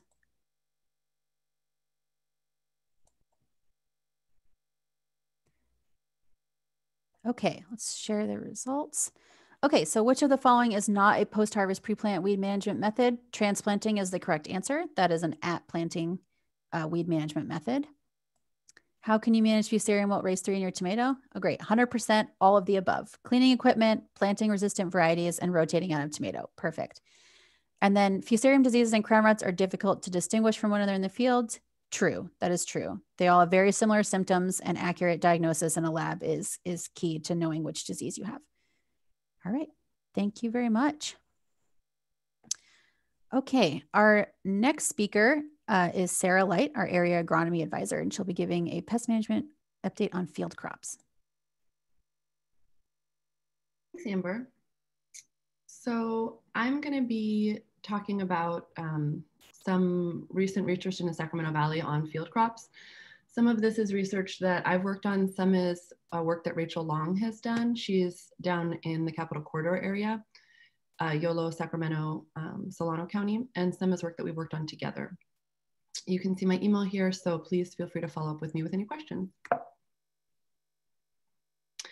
A quick reminder of resources, our Agronomy Resource Research and Information Center, AGRIC, has um, quite extensive resources on uh, field crop research and uh, information from UC researchers throughout the state. It's kind of our centralized hub.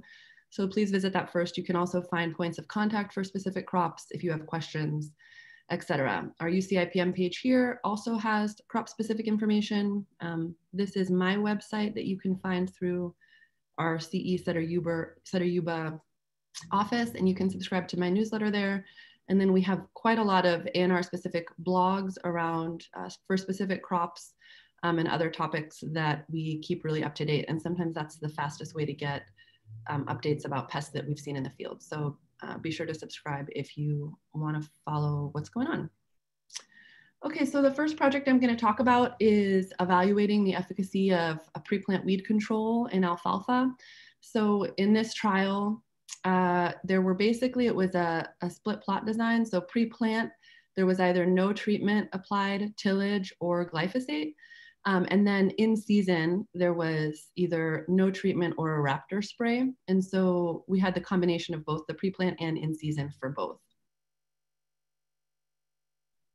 This is a plot with glyphosate applied pre-plant plus in-season Raptor, a nice looking alfalfa stand. Um, here on the left where you see this kind of dry uh, gray strip, um, that is one of the plots that had neither um, pre-plant or in season. And so it was very, very heavy in weeds. And then in the kind of foreground, um, you can see, uh, again, a higher canopy, and that is uh, where the raptor was not implied in season. This is a close-up of that plot. So this is glyphosate pre-plant, but no in-season herbicide. I also um, call this plot the, the area where you would hide your farm advisor body after they convince you to work on a project that results in a weedy alfalfa stand. So it was very, very tall weeds above my head. Uh, I took weed stand counts at different points throughout the growing season, but I'm just gonna show this one date. Uh, the full report will be available on my website. So if you're interested in how the dynamics changed throughout the season, you can review that for more information.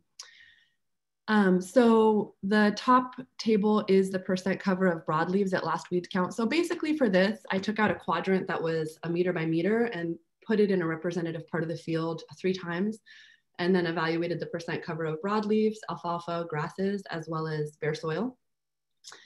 And for the treatments that had in, uh, that had pre-plant treatments, um, so that's here on the left, and then the Raptor in season or no is on the right. And so the ones that had no pre-plant treatment really had quite heavy broadleaf weed pressure, both uh, with and without the Raptor control. Um, the glyphosate pre-plant and tillage pre-plant combined with the raptor resulted in very low percentage of broadleaves. Um, but when the glyphosate and the tillage were applied um, pre-plant, but there was no in-season control, there was still a significant reduction in percent broadleaves as compared to uh, the no control plots. Uh, kind of the converse of that, the flip side is if you go and look at the bottom table, this is the percent cover between treatments at last weed count. Um, and it's sort of the reverse where there's more alfalfa here in the plots where the weeds were very effectively controlled by pre-plant and in-season application and the alfalfa was less percent of the of the cover when there was no in-season control. Uh, this is some yield data. And so uh, the plots were harvested with these meter by meter quadrants. And then the biomass was separated into alfalfa and weeds, and those were dried and weighed separately. Um, so there were um, significantly more weeds, this data is not shown by weight in the side of the field that did not get the herbicide spray in season compared to the side that did. In other words, where there was no raptor control, there was um, more, there were more weeds. However, within the side of the field where the raptor was sprayed or not, uh, there were actually not significant differences by pre-plant treatment. So in other words, what that means is that even though there was more alfalfa present in those plots with pre-plant control, there were also more weeds. And so kind of provides an opportunity to kind of clear out um, some of that weed pressure after first cutting. In terms of the yield results, the highest yielding were those that had the, the lowest weed pressure. Um, but the ones that had only pre-plant control and no in-season control um, still did yield significantly higher than those with no control, um, although not nearly as high as those that had both. Um, and then the final data point that I collected was alfalfa plants per quadrant after first cutting. And so after the, the first cutting, I went back in and kind of evaluated the remaining alfalfa stand using a 20 centimeter by 20 centimeter quadrant. Um, there were significant differences. Um, so if we're looking at the raptor in season with the pre-plant treatments and not the highest um, were kind of here where both happened. However, where there was no in-season control, the stand was still pretty good. And so, um, you know, with regards to the pre-plant treatments, both glyphosate spray and tillage pre-plant did significantly increase alfalfa stand compared to the plots with no plant treatment. But when um, those that were kind of comparing these two numbers, actually there was no statistically significant difference. And so in other words, the Raptor in season didn't seem to make a stronger sand when tillage was used pre-plant. So that kind of would it, to me says that the the stand is going to kind of recover now that the the weeds have have been kind of chopped down, have have uh, have germinated, grown, and been chopped down. So in quick summary, pre-plant control is pretty essential for increasing yield and stand count. The highest yields were in plots with both pre-plant and in-season control. Um, the stand counts in plots with pre-plant control, but no in-season herbicide application were still relatively high. And so if in-season control is limited, either because uh, Raptor spray, the cost of Raptor spray, or because someone is in an organic production system or has some other limitation that does not allow for control in season, it may actually be possible to do a pre-plant tillage or pre-plant glyphosate spray to control those weeds, establish a good sand, kind of suffer through the first cutting where you have pretty heavy weed pressure, um, have a yield reduction for first cutting, but that the impact may not carry over into subsequent cuttings um, because the stand is still strong underneath the canopy. And in fact, in that plot where I showed the picture um, with the very tall weeds, there was still a lot of alfalfa to be seen in the understory, kind of just waiting to, to flourish. So Okay, with that, I'm gonna move on to a black eye variety trial that we're working on, uh, Rachel and I, with some breeders down at UC Riverside. Um, this is looking at basically two new experimental lines that they're breeding for um, resistance to fusarium wilt, nematodes, and aphids. And the aphid resistance seems to be conferring better Lygus tolerance as well, although that's not what is necessarily being bred in. But we are looking at Lygus sting as an indication of the bridal success. And so this picture on the left, these are single row plots. Um, CB5 is a commercial variety that's being used as a control. CB77 um, is actually this one that is starting to senesce a little earlier. Then we have 74 and CB2 is on the far end next to that buffer. Uh, CB2 is a bit of an older variety that's being used as a control because it's very sensitive to a lot of pests. Um, here on the right side, we're looking actually at the CB um, 77 on the left and the CB72 on the right. And we can see quite a lot more aphids here in the CB2. Um, and I just wanted to quickly say that at the UCIPM guidelines line, there are black um, that are commercially available already.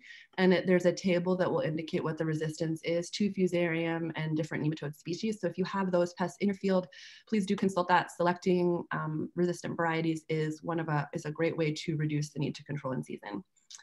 Um, okay, so this is that again, CB77 and CB2 at harvest. And I just wanted to show this because it was really quite shocking when we went out to harvest, just the differentiation, the differentiation in number of aphids. Here we see this really, all the black here in this field are aphids. Um, and in CB77, we really saw no aphids. So it was pretty impressive to see this difference. Um, to show some of the yield data, um, this, this graph shows yields CB74 and 77 are the experimental lines on the right they yielded um, higher than the CB2 or the CB5.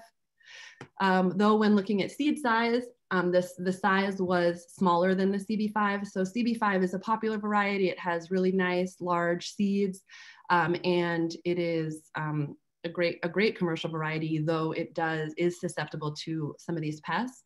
Um, the good news is that the breeders that we're working with at UC Riverside, because they know this is a popular variety, are actually working now to stack resistance to nematodes, fusarium, and aphids, um, which also will confer that Lygus tolerance.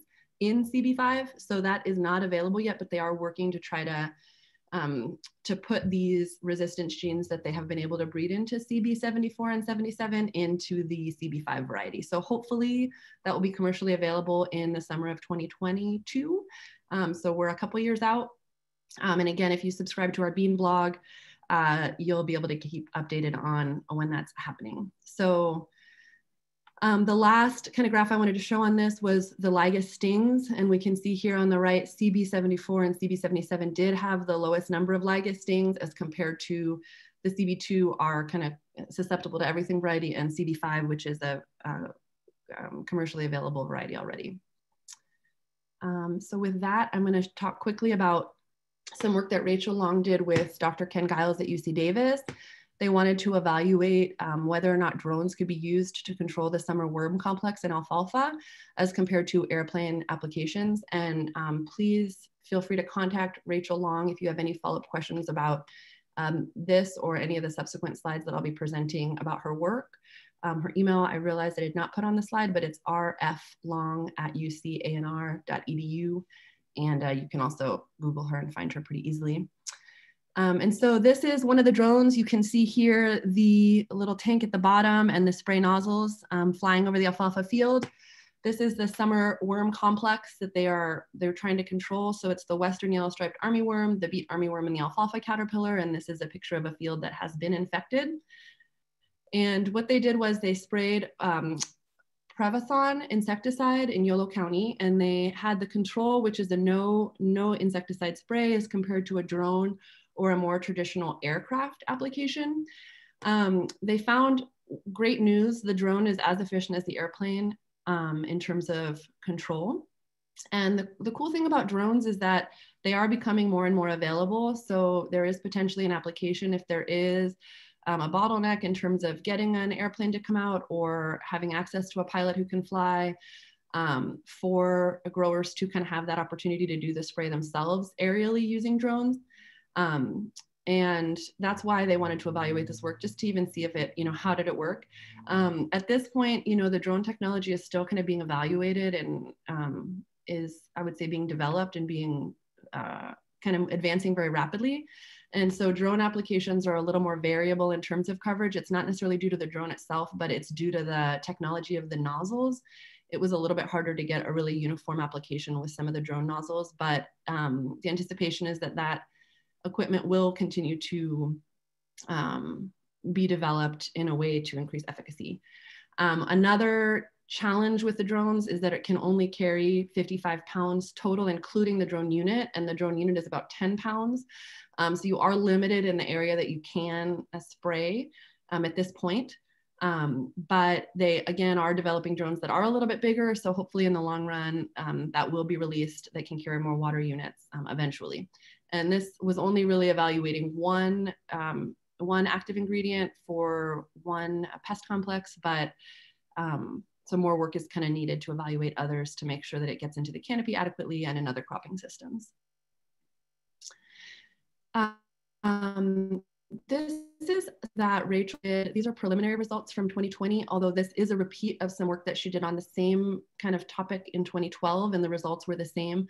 I did decide not to show that data because I, um, just in the interest of time, um, but she was looking at um, gibberellic acid, which is a plant growth regulator um, in black-eyed peas to see um, if they would increase yields for the peas. And I would say basically it's too expensive for what happens. On the left is the untreated, on the right is the treated. The plants do look bigger, they look great. Um, but in terms of the actual yields, there were no statistical significantly di differences. So on the left is, uh, in the left graph, the furthest left is this yellow bar, and that's um, yield in pounds per acre of the, the peas treated with the gibberellic acid and on the right are the untreated. It was a almost 14% difference in yield, but it was not statistically significant. And then if you kind of pencil out that dollars and cents, um, you know, you're spending $50 an acre to apply the treatment, but maybe making an extra $10 in terms of the yield difference. So it does end up actually being more expensive than, than it is worth at this point for field crops. Um, and then on the right side, this is seed weight in terms of grams per thousand seed. Um, and there were no differences in, in the individual seed weights. So, you know, potentially this would work in other cropping systems, but in field crops, it doesn't really seem to be super economical um, at this point. Um, the last topic I wanted to talk about is just give a quick pest management update in hemp. Um, this is an emerging field crop in our state, and I just want to acknowledge some of my colleagues who are working on this with me, Dan Putnam and Bob Hutmacher, who are um, cooperative extension specialists for the state with statewide appointments. Um, we have observed agricultural pests in hemp um, that are pests in other cropping systems, um, but it's unconfirmed yet if they all cause significant loss or damage into hemp. And so it's really important that we spend more time with this crop to really know what uh, pests actually require treatment and require crop loss or crop significant crop damage and which are just present in the hemp field. Um, so here are some pictures of agricultural pests that have been observed, but we have not actually confirmed uh, crop loss. Webworms, and this is this picture here, it does seem like when they attack young plants, there may be a risk. It's unclear if the young plants are able to grow out of it or not. Um, and then this is leaf miner. So leaf miner can cause this visible damage in the leaves, but there's no evidence yet that it actually causes severe enough damage to affect crop yield. And so really that's kind of what we're looking for is like not necessarily even evidence, but evidence that there's um, a reduction in loss. Um, and I will say that it depends on what part of the hemp is uh, being harvested, but because most growers are growing it for CBD, they're harvesting the flower. Um, pests like this that are kind of attacking the leaves aren't necessarily going to affect the final quality of the harvested product. This last picture is actually spotted cucumber beetle. Um, and then lygus, mites were others that were observed, but um, it's not clear if they actually cause yield loss. So um, this, on the other hand, corn, or, corn earworm and tomato, tobacco budworm can cause severe flower damage. So this is the tobacco budworm. This is the larvae of the corn earworm. They're kind of nasty. They bite the cola off or the flower right before harvest and it causes this like necrotic area, which uh, makes it an unharvestable uh, product. And so this is so far, these two insect pests are the only ones that we can really confirm like do are very problematic for hemp production. Uh, moving briefly into diseases that have been observed in the state, this is um, botrytis blight. The symptoms are very similar to uh, corn earworm damage and tobacco budworm damage. And actually, when we first had that previous field, the um, somebody had told us that they that they thought it was botrytis blight, and then when we opened it up, we found those little larvae in there. Um, and with botrytis, you would see the spores. Um, this in the middle is the beet curly top virus, and on the right is powdery mildew. Um, while beet curly top virus and botrytis appear to be problematic, um, the powdery mildew was observed, but the pressure was really mild and it actually didn't require treatment. So I've heard anecdotally a lot of people talk about powdery mildew, but I haven't actually heard of anyone talking about crop loss or crop reduction because of powdery mildew. So again, it's just really important with this new crop to not um, jump to control. Um, the control options are really limited anyway, but to not um, jump to control or jump to feel that there's an issue um, before we know if it actually is going to be affecting the final harvest. Um, as with all it's really important to protect bees and other beneficials. Male hemp plants are very attractive to bees. On my website, you can find this one pager on uh, best practices for managing um, insects in hemp while protecting bees and other beneficials.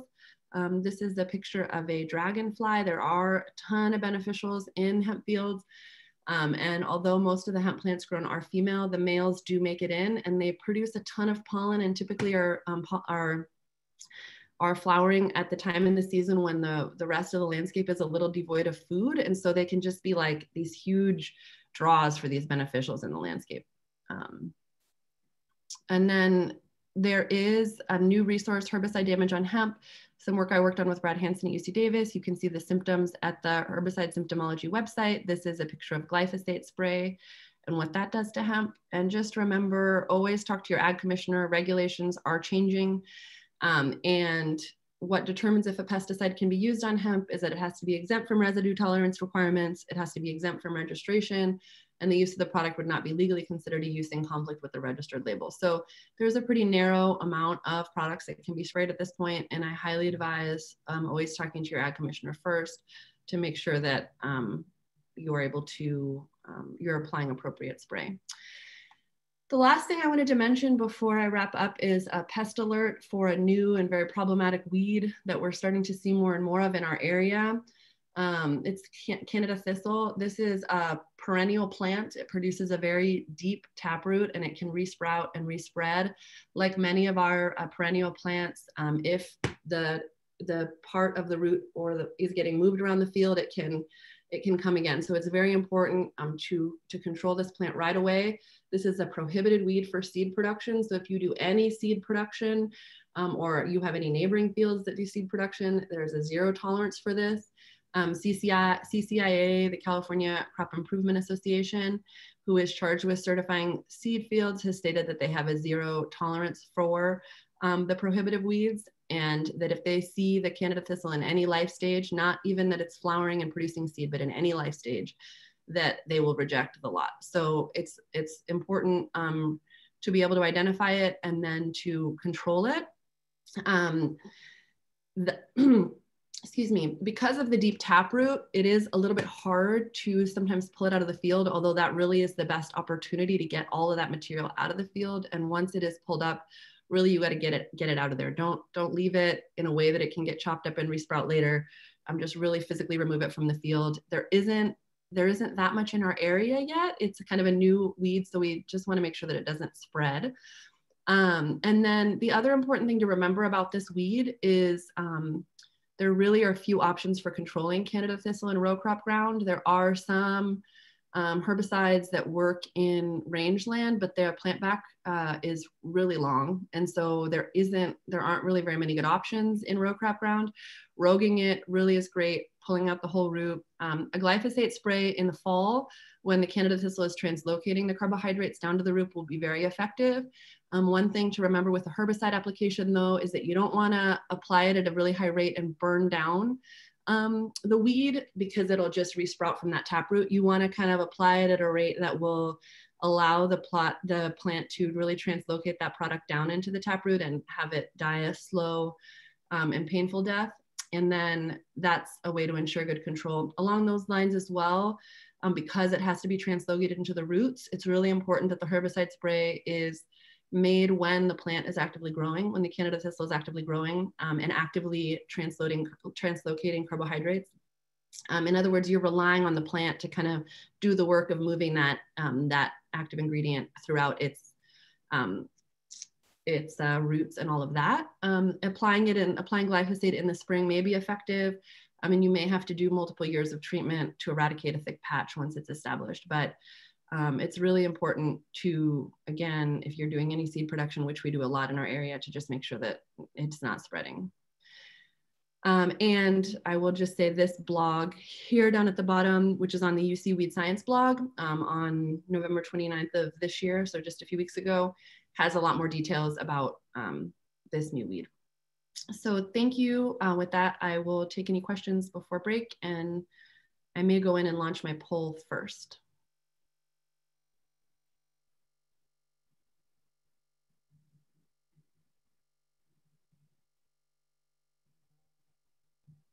Okay. So the the two questions that I have are both true false. Um, one, pre-plant weed control is not important when establishing alfalfa stands because weeds can be controlled in season. And two, all known agricultural plant pests found in hemp should be controlled to avoid yield loss.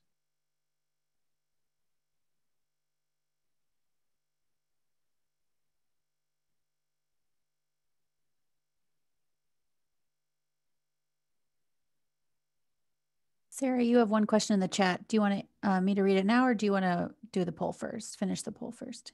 Um, you, can, you can read it now. Okay, it's from Hannah. Do they know the mechanism for resistance conferring genes for aphids on soybeans?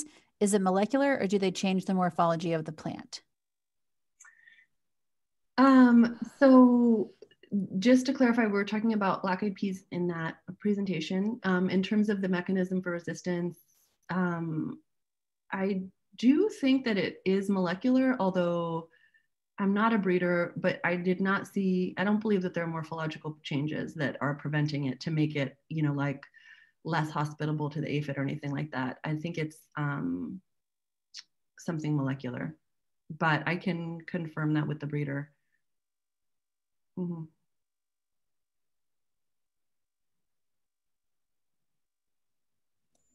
If you have any other questions, please post them in the chat for Sarah.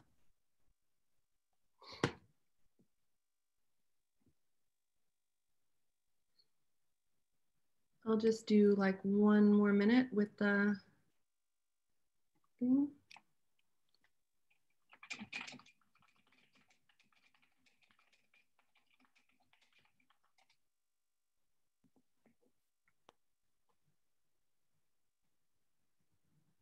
Oh, actually, we have 85% already voted. So we'll wrap it up now. Um, so the first question, pre-plant weed control is not important when establishing alfalfa stands because weeds can just be controlled in season. Um, this is false. It is really important to control weeds pre-plant um, to enable the alfalfa stand to be able to develop. Um, question number two, all known agricultural pests found in hemp should be controlled to avoid yield loss. Um, this is also false. Um, there are many known agricultural plant pests that are found in California that we do not know if they are actual true pests of hemp or if they are just present in the hemp field. And so really it is not necessary to spray or try to control all agricultural, known agricultural pests in hemp. That is false. Uh, thank you so much. With that, we have our um, next break. Our last talk resumes at 1025 and um, we will see you then. Thank you.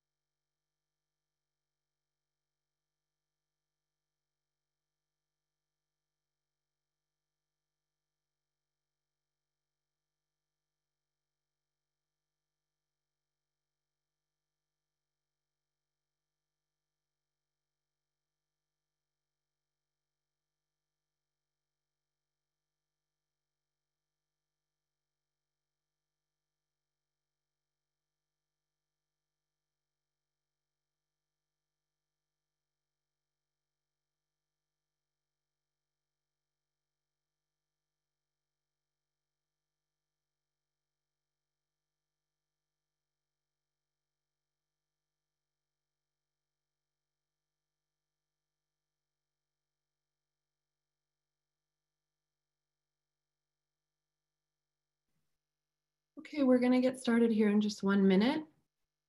Scott, if you wanna pull up your slides, I'll stop sharing mine.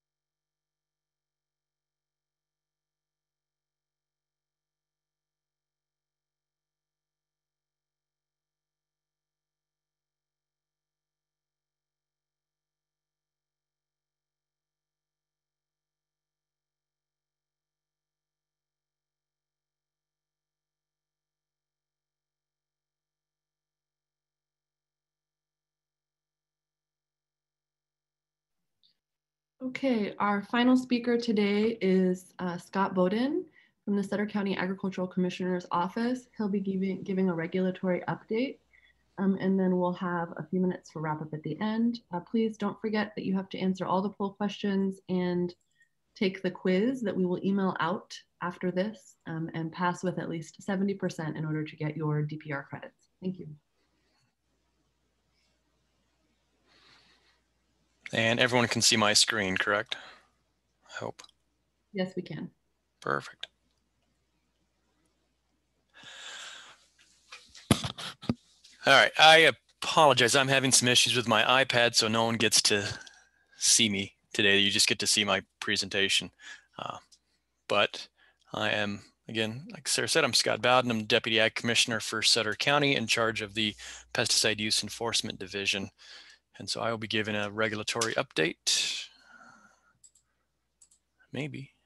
There we go. And this is what I'll briefly go over um, during this session. We'll, we're going to go over our permitting process for 2020 and 2021 um, with our COVID restrictions in place, kind of the top 20 uh, top violations for 2020 and some uh, regulatory updates for chlorpyrifos, paraquat, and decontamination facilities pesticide use near schools.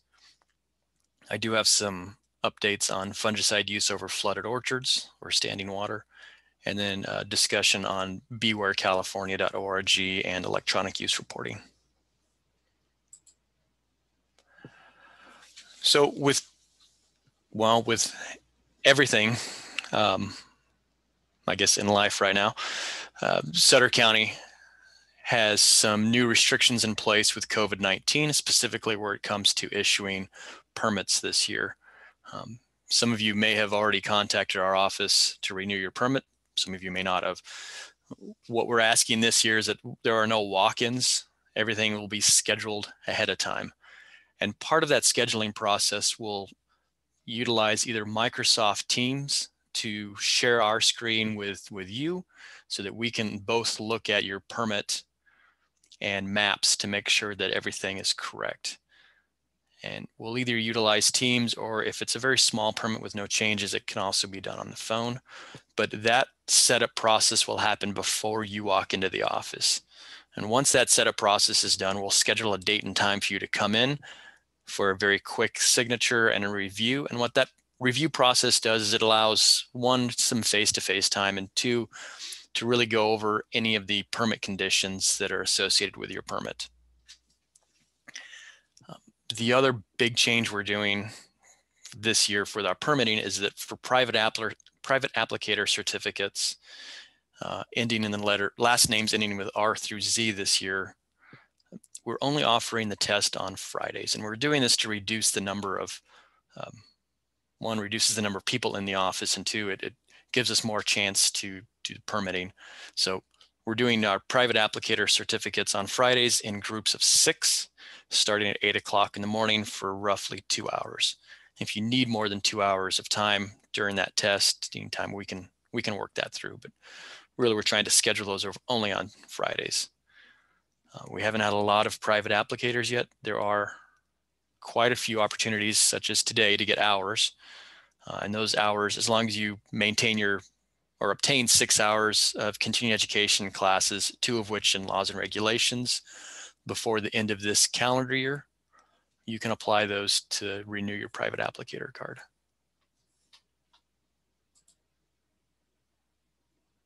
So the top five-ish violations, I kind of threw another one in because I, I threw pesticide use reports in, Code of Regulations 6626. Because we are right in the middle of doing record audits on on growers. And typically during this time of year when we're doing record audits, that's where we find you, a lot of use report issues. So that may um, come back into the top five as, as they stand right now. But really these top five violations, they could be any year because these are things that we see on a year to year basis. And that is um, conflict with label, Food and Agricultural Code 12973. It's conflict with either the pesticide label or a condition put in place on your permit by the Ag Commissioner. Um, California Code of Regulations 6434, notice of intent to apply restricted materials. Uh, California Code of Regulations 6614, protection of persons, animals, and property. And that's really the, the code that we use if there is a if there's a drift complaint within the county and pesticides have drifted from your location onto a, a non-target site. And then Code Regulations 6738 and 6726. That's uh, personal protection equipment for employees and emergency, emergency medical care posting for employees. And really anything under that 6700 category is worker protection standards. And in each one of these, I'll break down in a slide here in a minute. And then of course, pesticide use reports.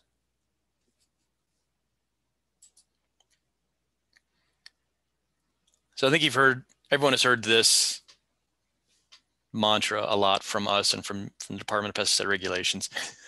The label is the law and Food and Agricultural Code 12973, that's where this, that term is really coming from.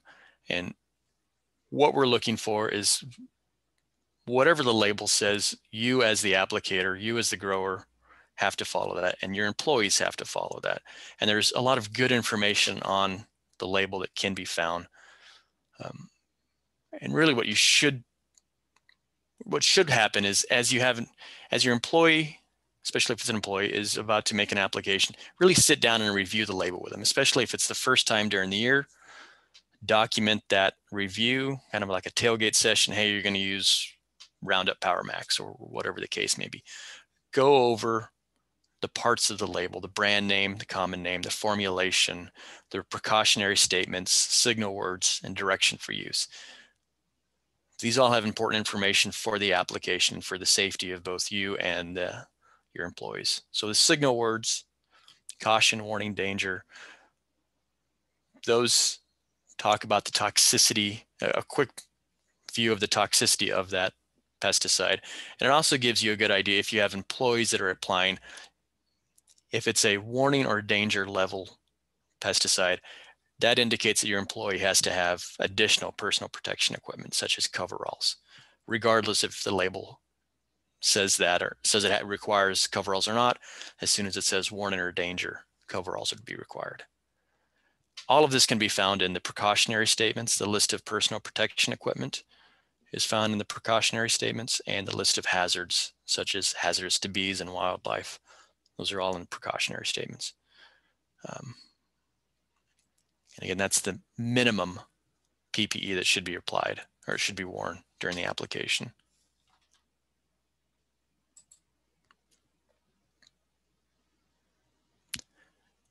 So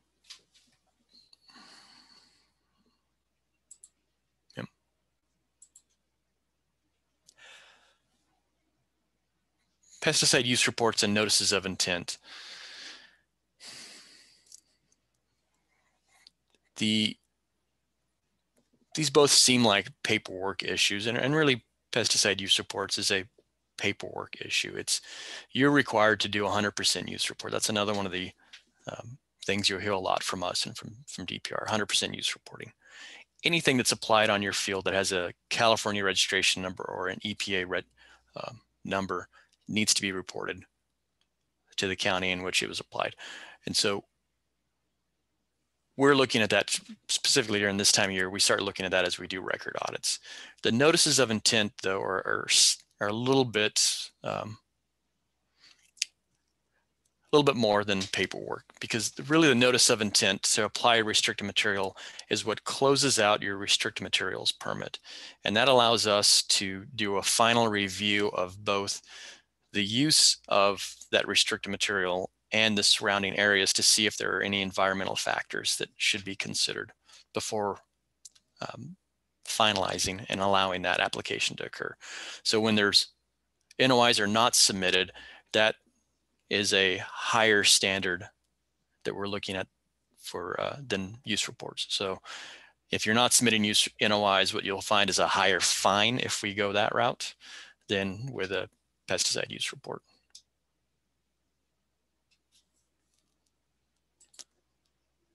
And as you can see, I'm just working through the top five violations right now.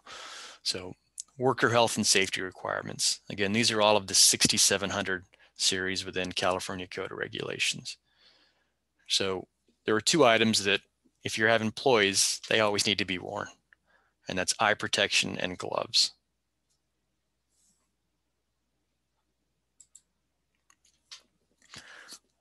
What 6738 and there's a bunch of codes after 6738, this point one, point two, point three, and so forth.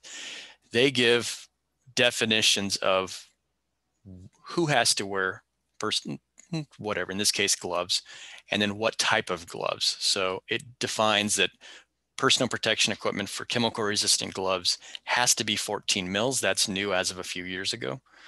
Um, they have to be specific to whatever the label says and that flocked gloves or non-separable liners are prohibited.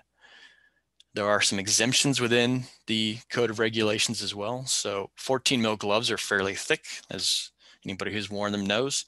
There's an exemption within the Code Regulations that allows for the thinner um, nitrile gloves to be worn if anything that requires dexterity, like changing out nozzles. However, there's a time limit on that. So that's a generally a 15 minute time limit. And that doesn't mean you can stack those 15 minutes up.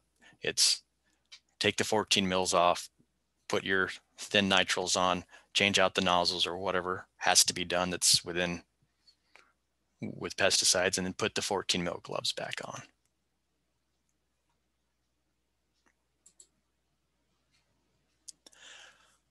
Again, with the worker health and safety requirements, we have eye protection. And again, if we dig into the code section, into 6738, it will give specifics on what type of eye protection. And remember that eye protection has to have, it says brown here, but it's front and brow and temple protection. And now there is a uh, OSHA impact rating. So we want to be able to see that it has an ANSI Z87 requirements on those safety glasses, but also check the label. As you're reviewing the label prior to the application, make check the precautionary statements, look for the PPE. Does it does the label specify safety glasses are okay, or does it require goggle safety goggles or a face shield? You want to go with what the label says, and then 6738 will help define what kind of safety glasses or what kind of goggles. Oh, I thought I had a question. And then coveralls. This is this is where we get into the reg regulatory requirement that if the signal word says warning or danger on the pesticide label, employees have to have coveralls on.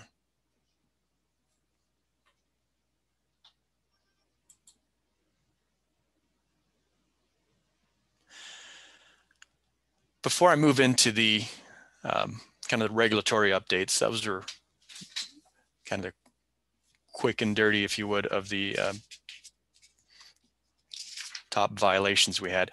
Are there I didn't see if there's any questions, but I can certainly answer questions at the end too.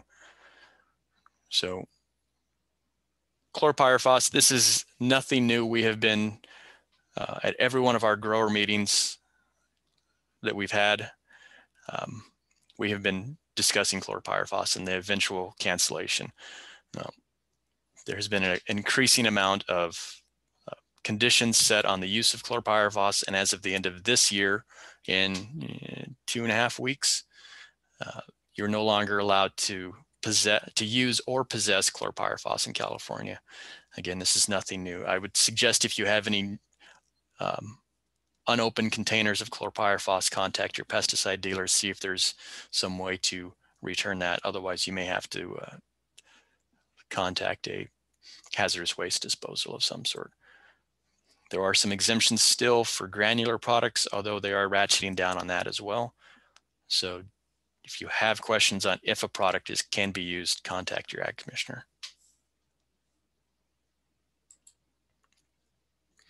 Paraquat update. Again, this is, we're looking at due dates now. And so remember paraquat, this is a federal label update. Paraquat is one of the most widely used herbicides in the United States. It's extremely toxic. And that's, there's been 17 deaths since 2000 based on ingestion. And that is why, that's what prompted the label change on the federal level. And what the label changes are now say that only certified applicators that have completed an EPA training can mix load and apply. Start and what also happened on the federal level is that they required a new integrated closed system within those containers.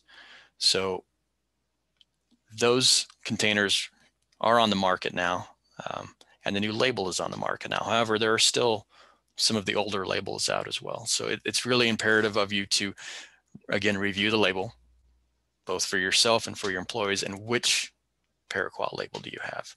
And here's what, here's some example. Well, again, remember that you have to, have to be a certified applicator. You have to be, in California, you have to have a private applicator card issued through your local ag commissioner. And to use paraquat, you have to go through that EPA approved training program uh, we would like a copy of that certificate so that it's easy for us as we review notices of intent, we can just pull up your file and go, okay, you have a private applicator and you have the EPA approved program. Otherwise, we're making a bunch of phone calls and we will call you if, if paraquat uh, NOI start coming in because we want to make sure that everyone has these requirements met before the application takes place. So the old restricted use label, again, it, it would say for retail sale to and to and use only by certified applicators or persons under their direct supervision. And this is the old label for Parazone.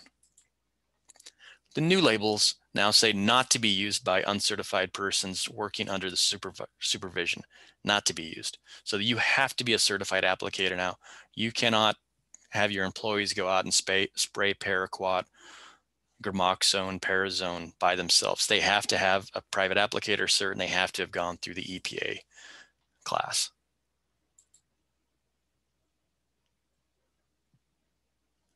Another big change, again, this is from a this is from a year or so ago, but we're still seeing some um, issues with this out in the field is that there were some changes to decontamination facility requirements.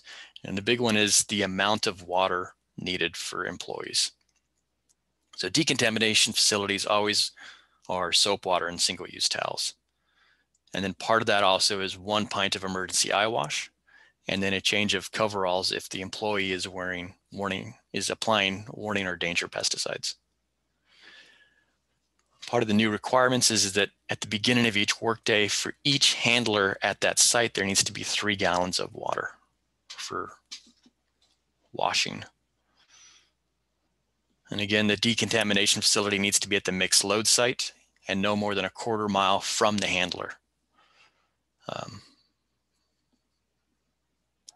this non-production 100 feet from mixed load site, that, that may be changing here soon as well but that would be at a at a hulling facility or, or something like that.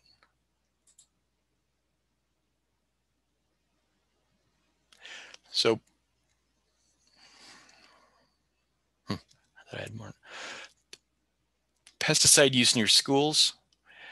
So again, this is a this is something we've we've we've all been working through for the past several years. However, with COVID, and with schools working from home in some areas in some areas they've brought kids back to school it's imperative that you check with the schools check with the ag commissioners make sure that if you're next if you're within a quarter mile of a school site is that school in session do they have children at school or are they all at home it's it's sometimes it's hard to tell now so remember that the new, these new regulations are production ag within a quarter mile of public schools K through 12, and licensed childcare facilities. Uh, and it's no applications Monday through Friday, 6 a.m. to 6 p.m. And that's the quarter mile is for aerial applications and for air blast sprayers. If it's a um, broadcast or if it's a broadcast break, it's 25 feet, or if it's a strip spraying, it's 25 feet.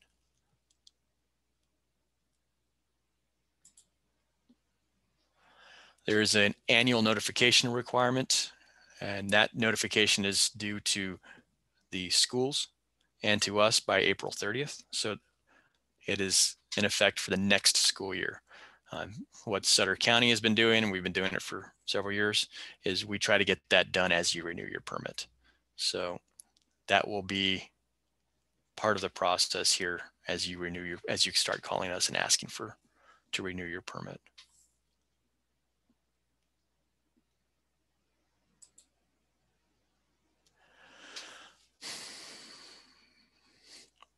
One of the items that's not in this slideshow, and it, I reminded myself with renewals, is that there is a new, uh, some new paperwork that we're asking um, everyone to everyone with a restricted material to fill out. And we're what we're doing is it's it, this has always been a requirement to consider mitigation and alternatives to use for restricted materials prior to spraying. And, and you're you've done this, your PCA has done this, and they've notated that in recommendations for anytime you spray a, a restricted material. And Now we're asking to document that prior to issuing a permit. So when you call us and you ask for to renew your permit, we're going to say, hey, we see that you have paraquat and 2,4-D on your permit. And we're going to send you a piece of paper that says, we need to know if you, what, what alternatives or what mitigation practices you've considered, whether that's um, using glyphosate, using some sort of non-restricted materials. We just need to notate, notate that and document that. And that'll be, that, that's new. It's statewide. Every commissioner's office is, is doing that at this point. So although every, everyone has slightly different forms, we're all asking the same basic information. So right, on to this flood, fungicides over flooded orchards. So I think it's been said a couple of times this morning, this looks like it's going to be a fairly dry winter.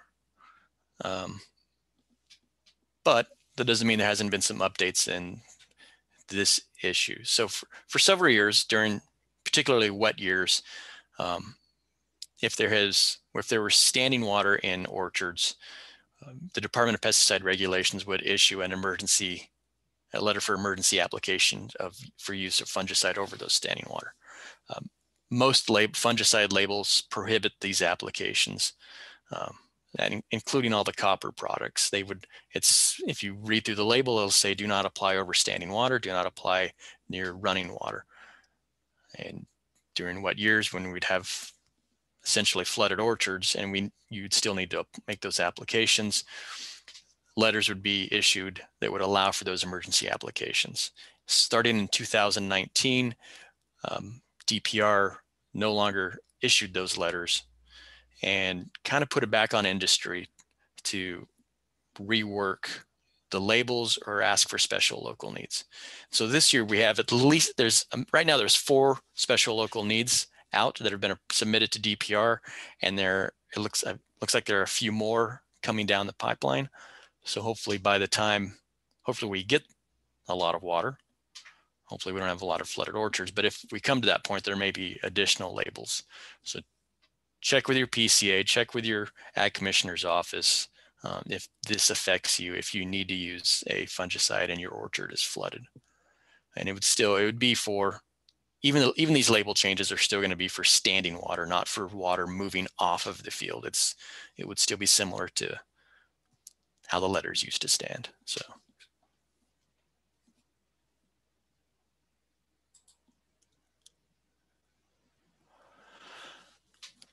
So bewarecalifornia.com is a new tool um, that is, allows you as the applicator to determine if there are any bee sites, beekeepers, apiaries within a mile of wherever you're making that application.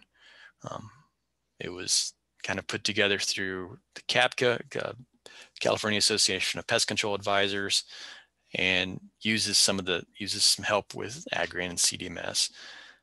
And what it allows you to do is, is create an account through Beware California so that you, the applicator, can log on and say, I'm making an application to my site at this location. Are there any bees within a mile? And if there are bees within a mile, it will say yes. Uh, strike Strachan apiaries or, or one of the local apiaries is within a mile. Here's the number to call. It won't give you an exact location of where that where those bees are, are but it will say within a mile of this application site, here, here's who you need to call. And what you'll see when you log in and you create an account, you have there's several options. So beekeepers can log in. If you happen to, if there happen to be any beekeepers on this call, you can register your beehives. You can ask for notification and you can do all your movements through Beware California. If you're a pest control advisor, you can log in, create an account, and as you're writing recommendations, you can see, again, where bees are so that you can write that on your recommendation. Hey, there are bees within a mile of this application. Make sure you contact these beekeepers. Or if you're the applicator, you can, again, you can log in through Access Grower Bee Check and you can do a bee check yourself. And what that does is that it's one less phone call to make. Previous years, you would call the ag commissioner's office and you'd say, I'm spraying a pesticide. There's, I just want to see if there's any bee. I want to do a bee check. Beware, Beware California allows you to do that electronically from your phone, from your house, on a weekend. You can make those checks by yourself. And the reason we're doing this is that we need to make sure that there are pest, obviously there are pesticides that are toxic to bees and you want to look for hive, hives and blooming plants. And again, reviewing the labels to make sure that what you're spraying, if it says toxic to bees, that's when you need to start notifying the beekeepers. That's when you need to start making these either contacting your ag commissioner's office to do a bee check or log in through bewarecalifornia.com and looking to see who, who needs to be notified. These beekeepers need to be notified 48 hours prior to that application. So that allows them a chance to move or it allows you two to discuss um, when an appropriate time is, preferably when they're inactive, one to two hours, one hour before sunset or two hours before sunrise, and temperatures below 55 degrees. That's typically what they're what they're looking for. But again, it's a 48 hour prior to the application. You need to notify if it's if there's blooming plants and they're actively foraging in that field.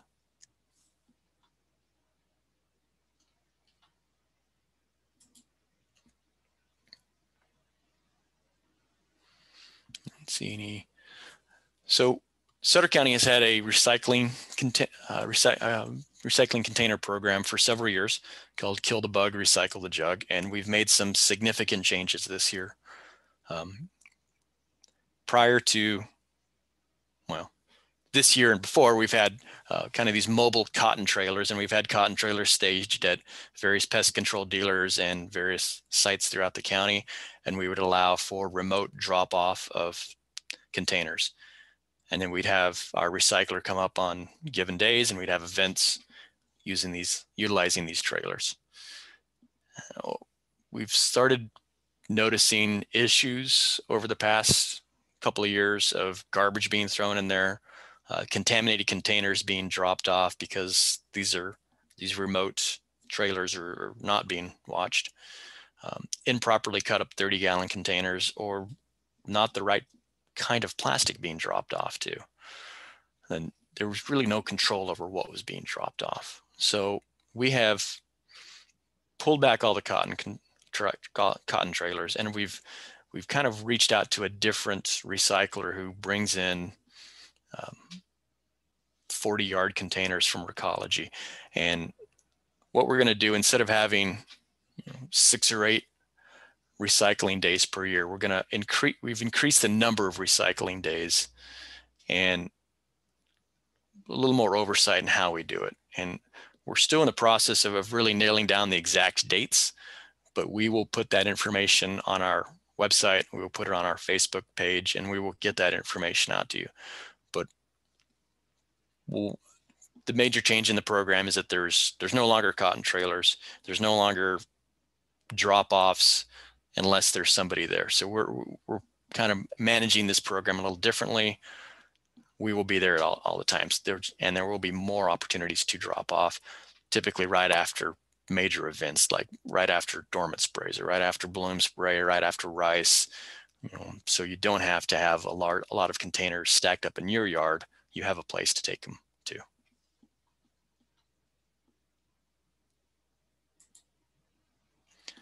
These are examples of, of what we've seen in the last year. So we've have contaminated containers.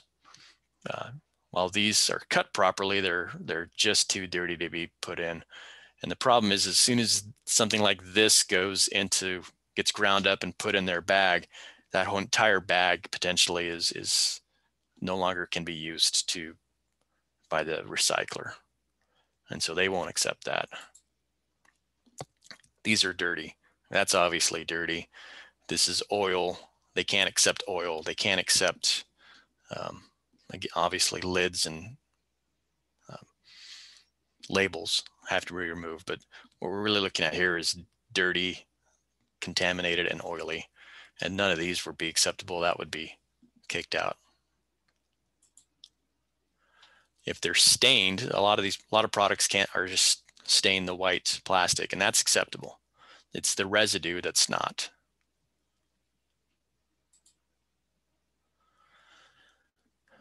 So again, we're gonna have more more dates at temporary sites and at basically at the end of historic spring times.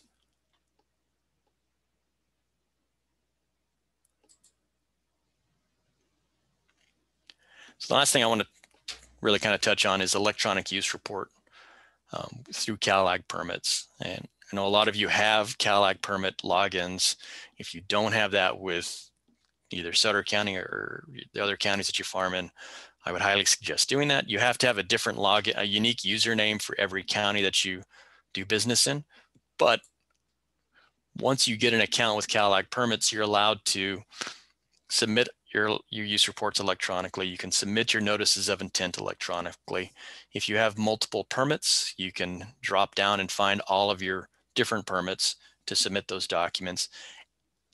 And you can do queries and pull up all of your use report history for a given year. So if you need to run a quick printout of everything you did on this block for a year or this permit for a year to turn in, you can quickly do that yourself through your own CalAg permit account. And any of us here at in the county can set that up for you. It's it's a quick process. It sets you up to to get into and basically look at everything that we can look at.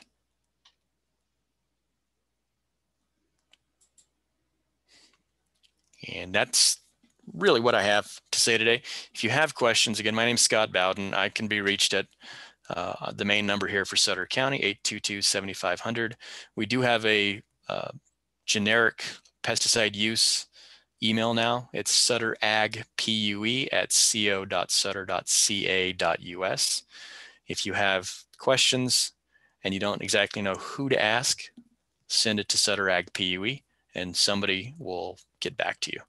We also have a very active Facebook. Lisa Herbert, our ag commissioner, is in chart, uh, updates that Facebook page on a very regular basis with all sorts of good information, um, both for our department and for the county as well. So please, if you haven't checked out our Facebook page, check it out. It's uh, at Sutter County Ag. Uh, she we, she puts a lot of work into that. It's it's it's a good Facebook page. And thank you so much. Um, I think we're running, unfortunately, a little low on time for questions, but please email Scott and let's go ahead and get poll launched. Um, Scott, if you'll stop sharing your screen, I'll put up our final slide so people can get the QR code for their credits. Thank you. Perfect. I'm out. All right. So question number one, I made a bunch of questions. I'm sorry. So question number one, what is the most common site violation cited during a county inspection? Lack of personal protection equipment, failing to follow the label, no emergency medical care posting, or no decontamination facility for employees. Uh, question number two, what part of the pesticide label can you find a list of the required personal protection equipment, precautionary statement, general information, storage and disposal, directions for use? You guys are experts in this. Well, one person is an expert. Uh, what are two pieces of documentation? What two pieces of documentation are now required to apply Paraquat? Uh, operator identification number and a MasterCard because everything costs money nowadays. Uh, private applicator card and a restricted materials permit or an EPA approved certified certificate of completion and a private applicator card. Number four, how much water is required to be at a mixed load site when employees apply pesticides? Uh, at least nine gallons of water, sufficient amount of water, at least three gallons of water per handler at the beginning of each day, or one pint of emergency water. That one's kind of a trick question, actually. And finally, when must you notify surrounding beekeepers of pesticide applications? When they call you, when you make a pesticide application within a mile of a hive, when bees are actively foraging on your property, or 48 hours prior to applying a pesticide that is toxic to bees. Scott, thank you so much. While we wait yep. for people to um, answer your polls and before you go over the answers, just a quick reminder um, to you can scan this code here for CCA credits. The DPR quiz will be emailed and you must take the quiz and pass with a 70% rate in order to get credits for the, the webinar. Um, thank you all so much for attending and um, we're really pleased to um, have such good attendance. Uh, thanks, Scott. Thank you. And Scott, while we um, wait for the rest of the poll answers to come in, there is one question in the chat. Yeah. It's is the ANSI 87.1 a new goggle requirement? No, that's been in effect for several years now. It is that the ANSI Z87 is printed on the on the safety glasses on the brow typically or the the brow piece it's not a new requirement. It's been in there for eh, five or six years now. It's just something that um, we're tending to look at a little bit more carefully. And it Z87 is really an impact requirement, but it's it's it is a requirement. It does show that the safety glasses are a stronger caliper than say sunglasses. And I think that's that's really why it's there. Are there any other questions in the I seem to have lost track of that. I don't see any other questions in the chat. We have 90% in the polls, so we can probably end that and share the results. Okay. Nope, it switched. All right, so the most common violations cited during our county inspections is failing to follow the label Food and Ag Code 12973. Lack of PPE, that's right up there too. That is a label requirement but that was um, typically it's it's 12973. If we're going to cite any anything, it's it's 12973. Lack of following the label properly. Um, precautionary statements is where you find on the label is where you find personal protection equipment. And again, remember you need an EPA approved certificate of completion and a private applicator card to apply Paraquat now. That includes your employees. Uh, we will be offering uh, PAC tests for any employee that needs to do that. You need to have three gallons of water per handler at the beginning of each day for washing. You also need to have, um, there also is a eye washing station requirements, and that's where the nine gallons can come in. I didn't really talk about that, but there is uh, eye washing requirements too. So it's a hose with gently running water is sufficient for that, but three gallons is required at the beginning of each workday. And then again, 48 hours, you need to notify beekeepers 48 hours prior to spraying anything that's toxic to bees. And that's all I got. Thanks so much. Okay, well, uh, keep your eyes peeled for the quiz in your email. And with that, we're going to go ahead and end the meeting. Thank you.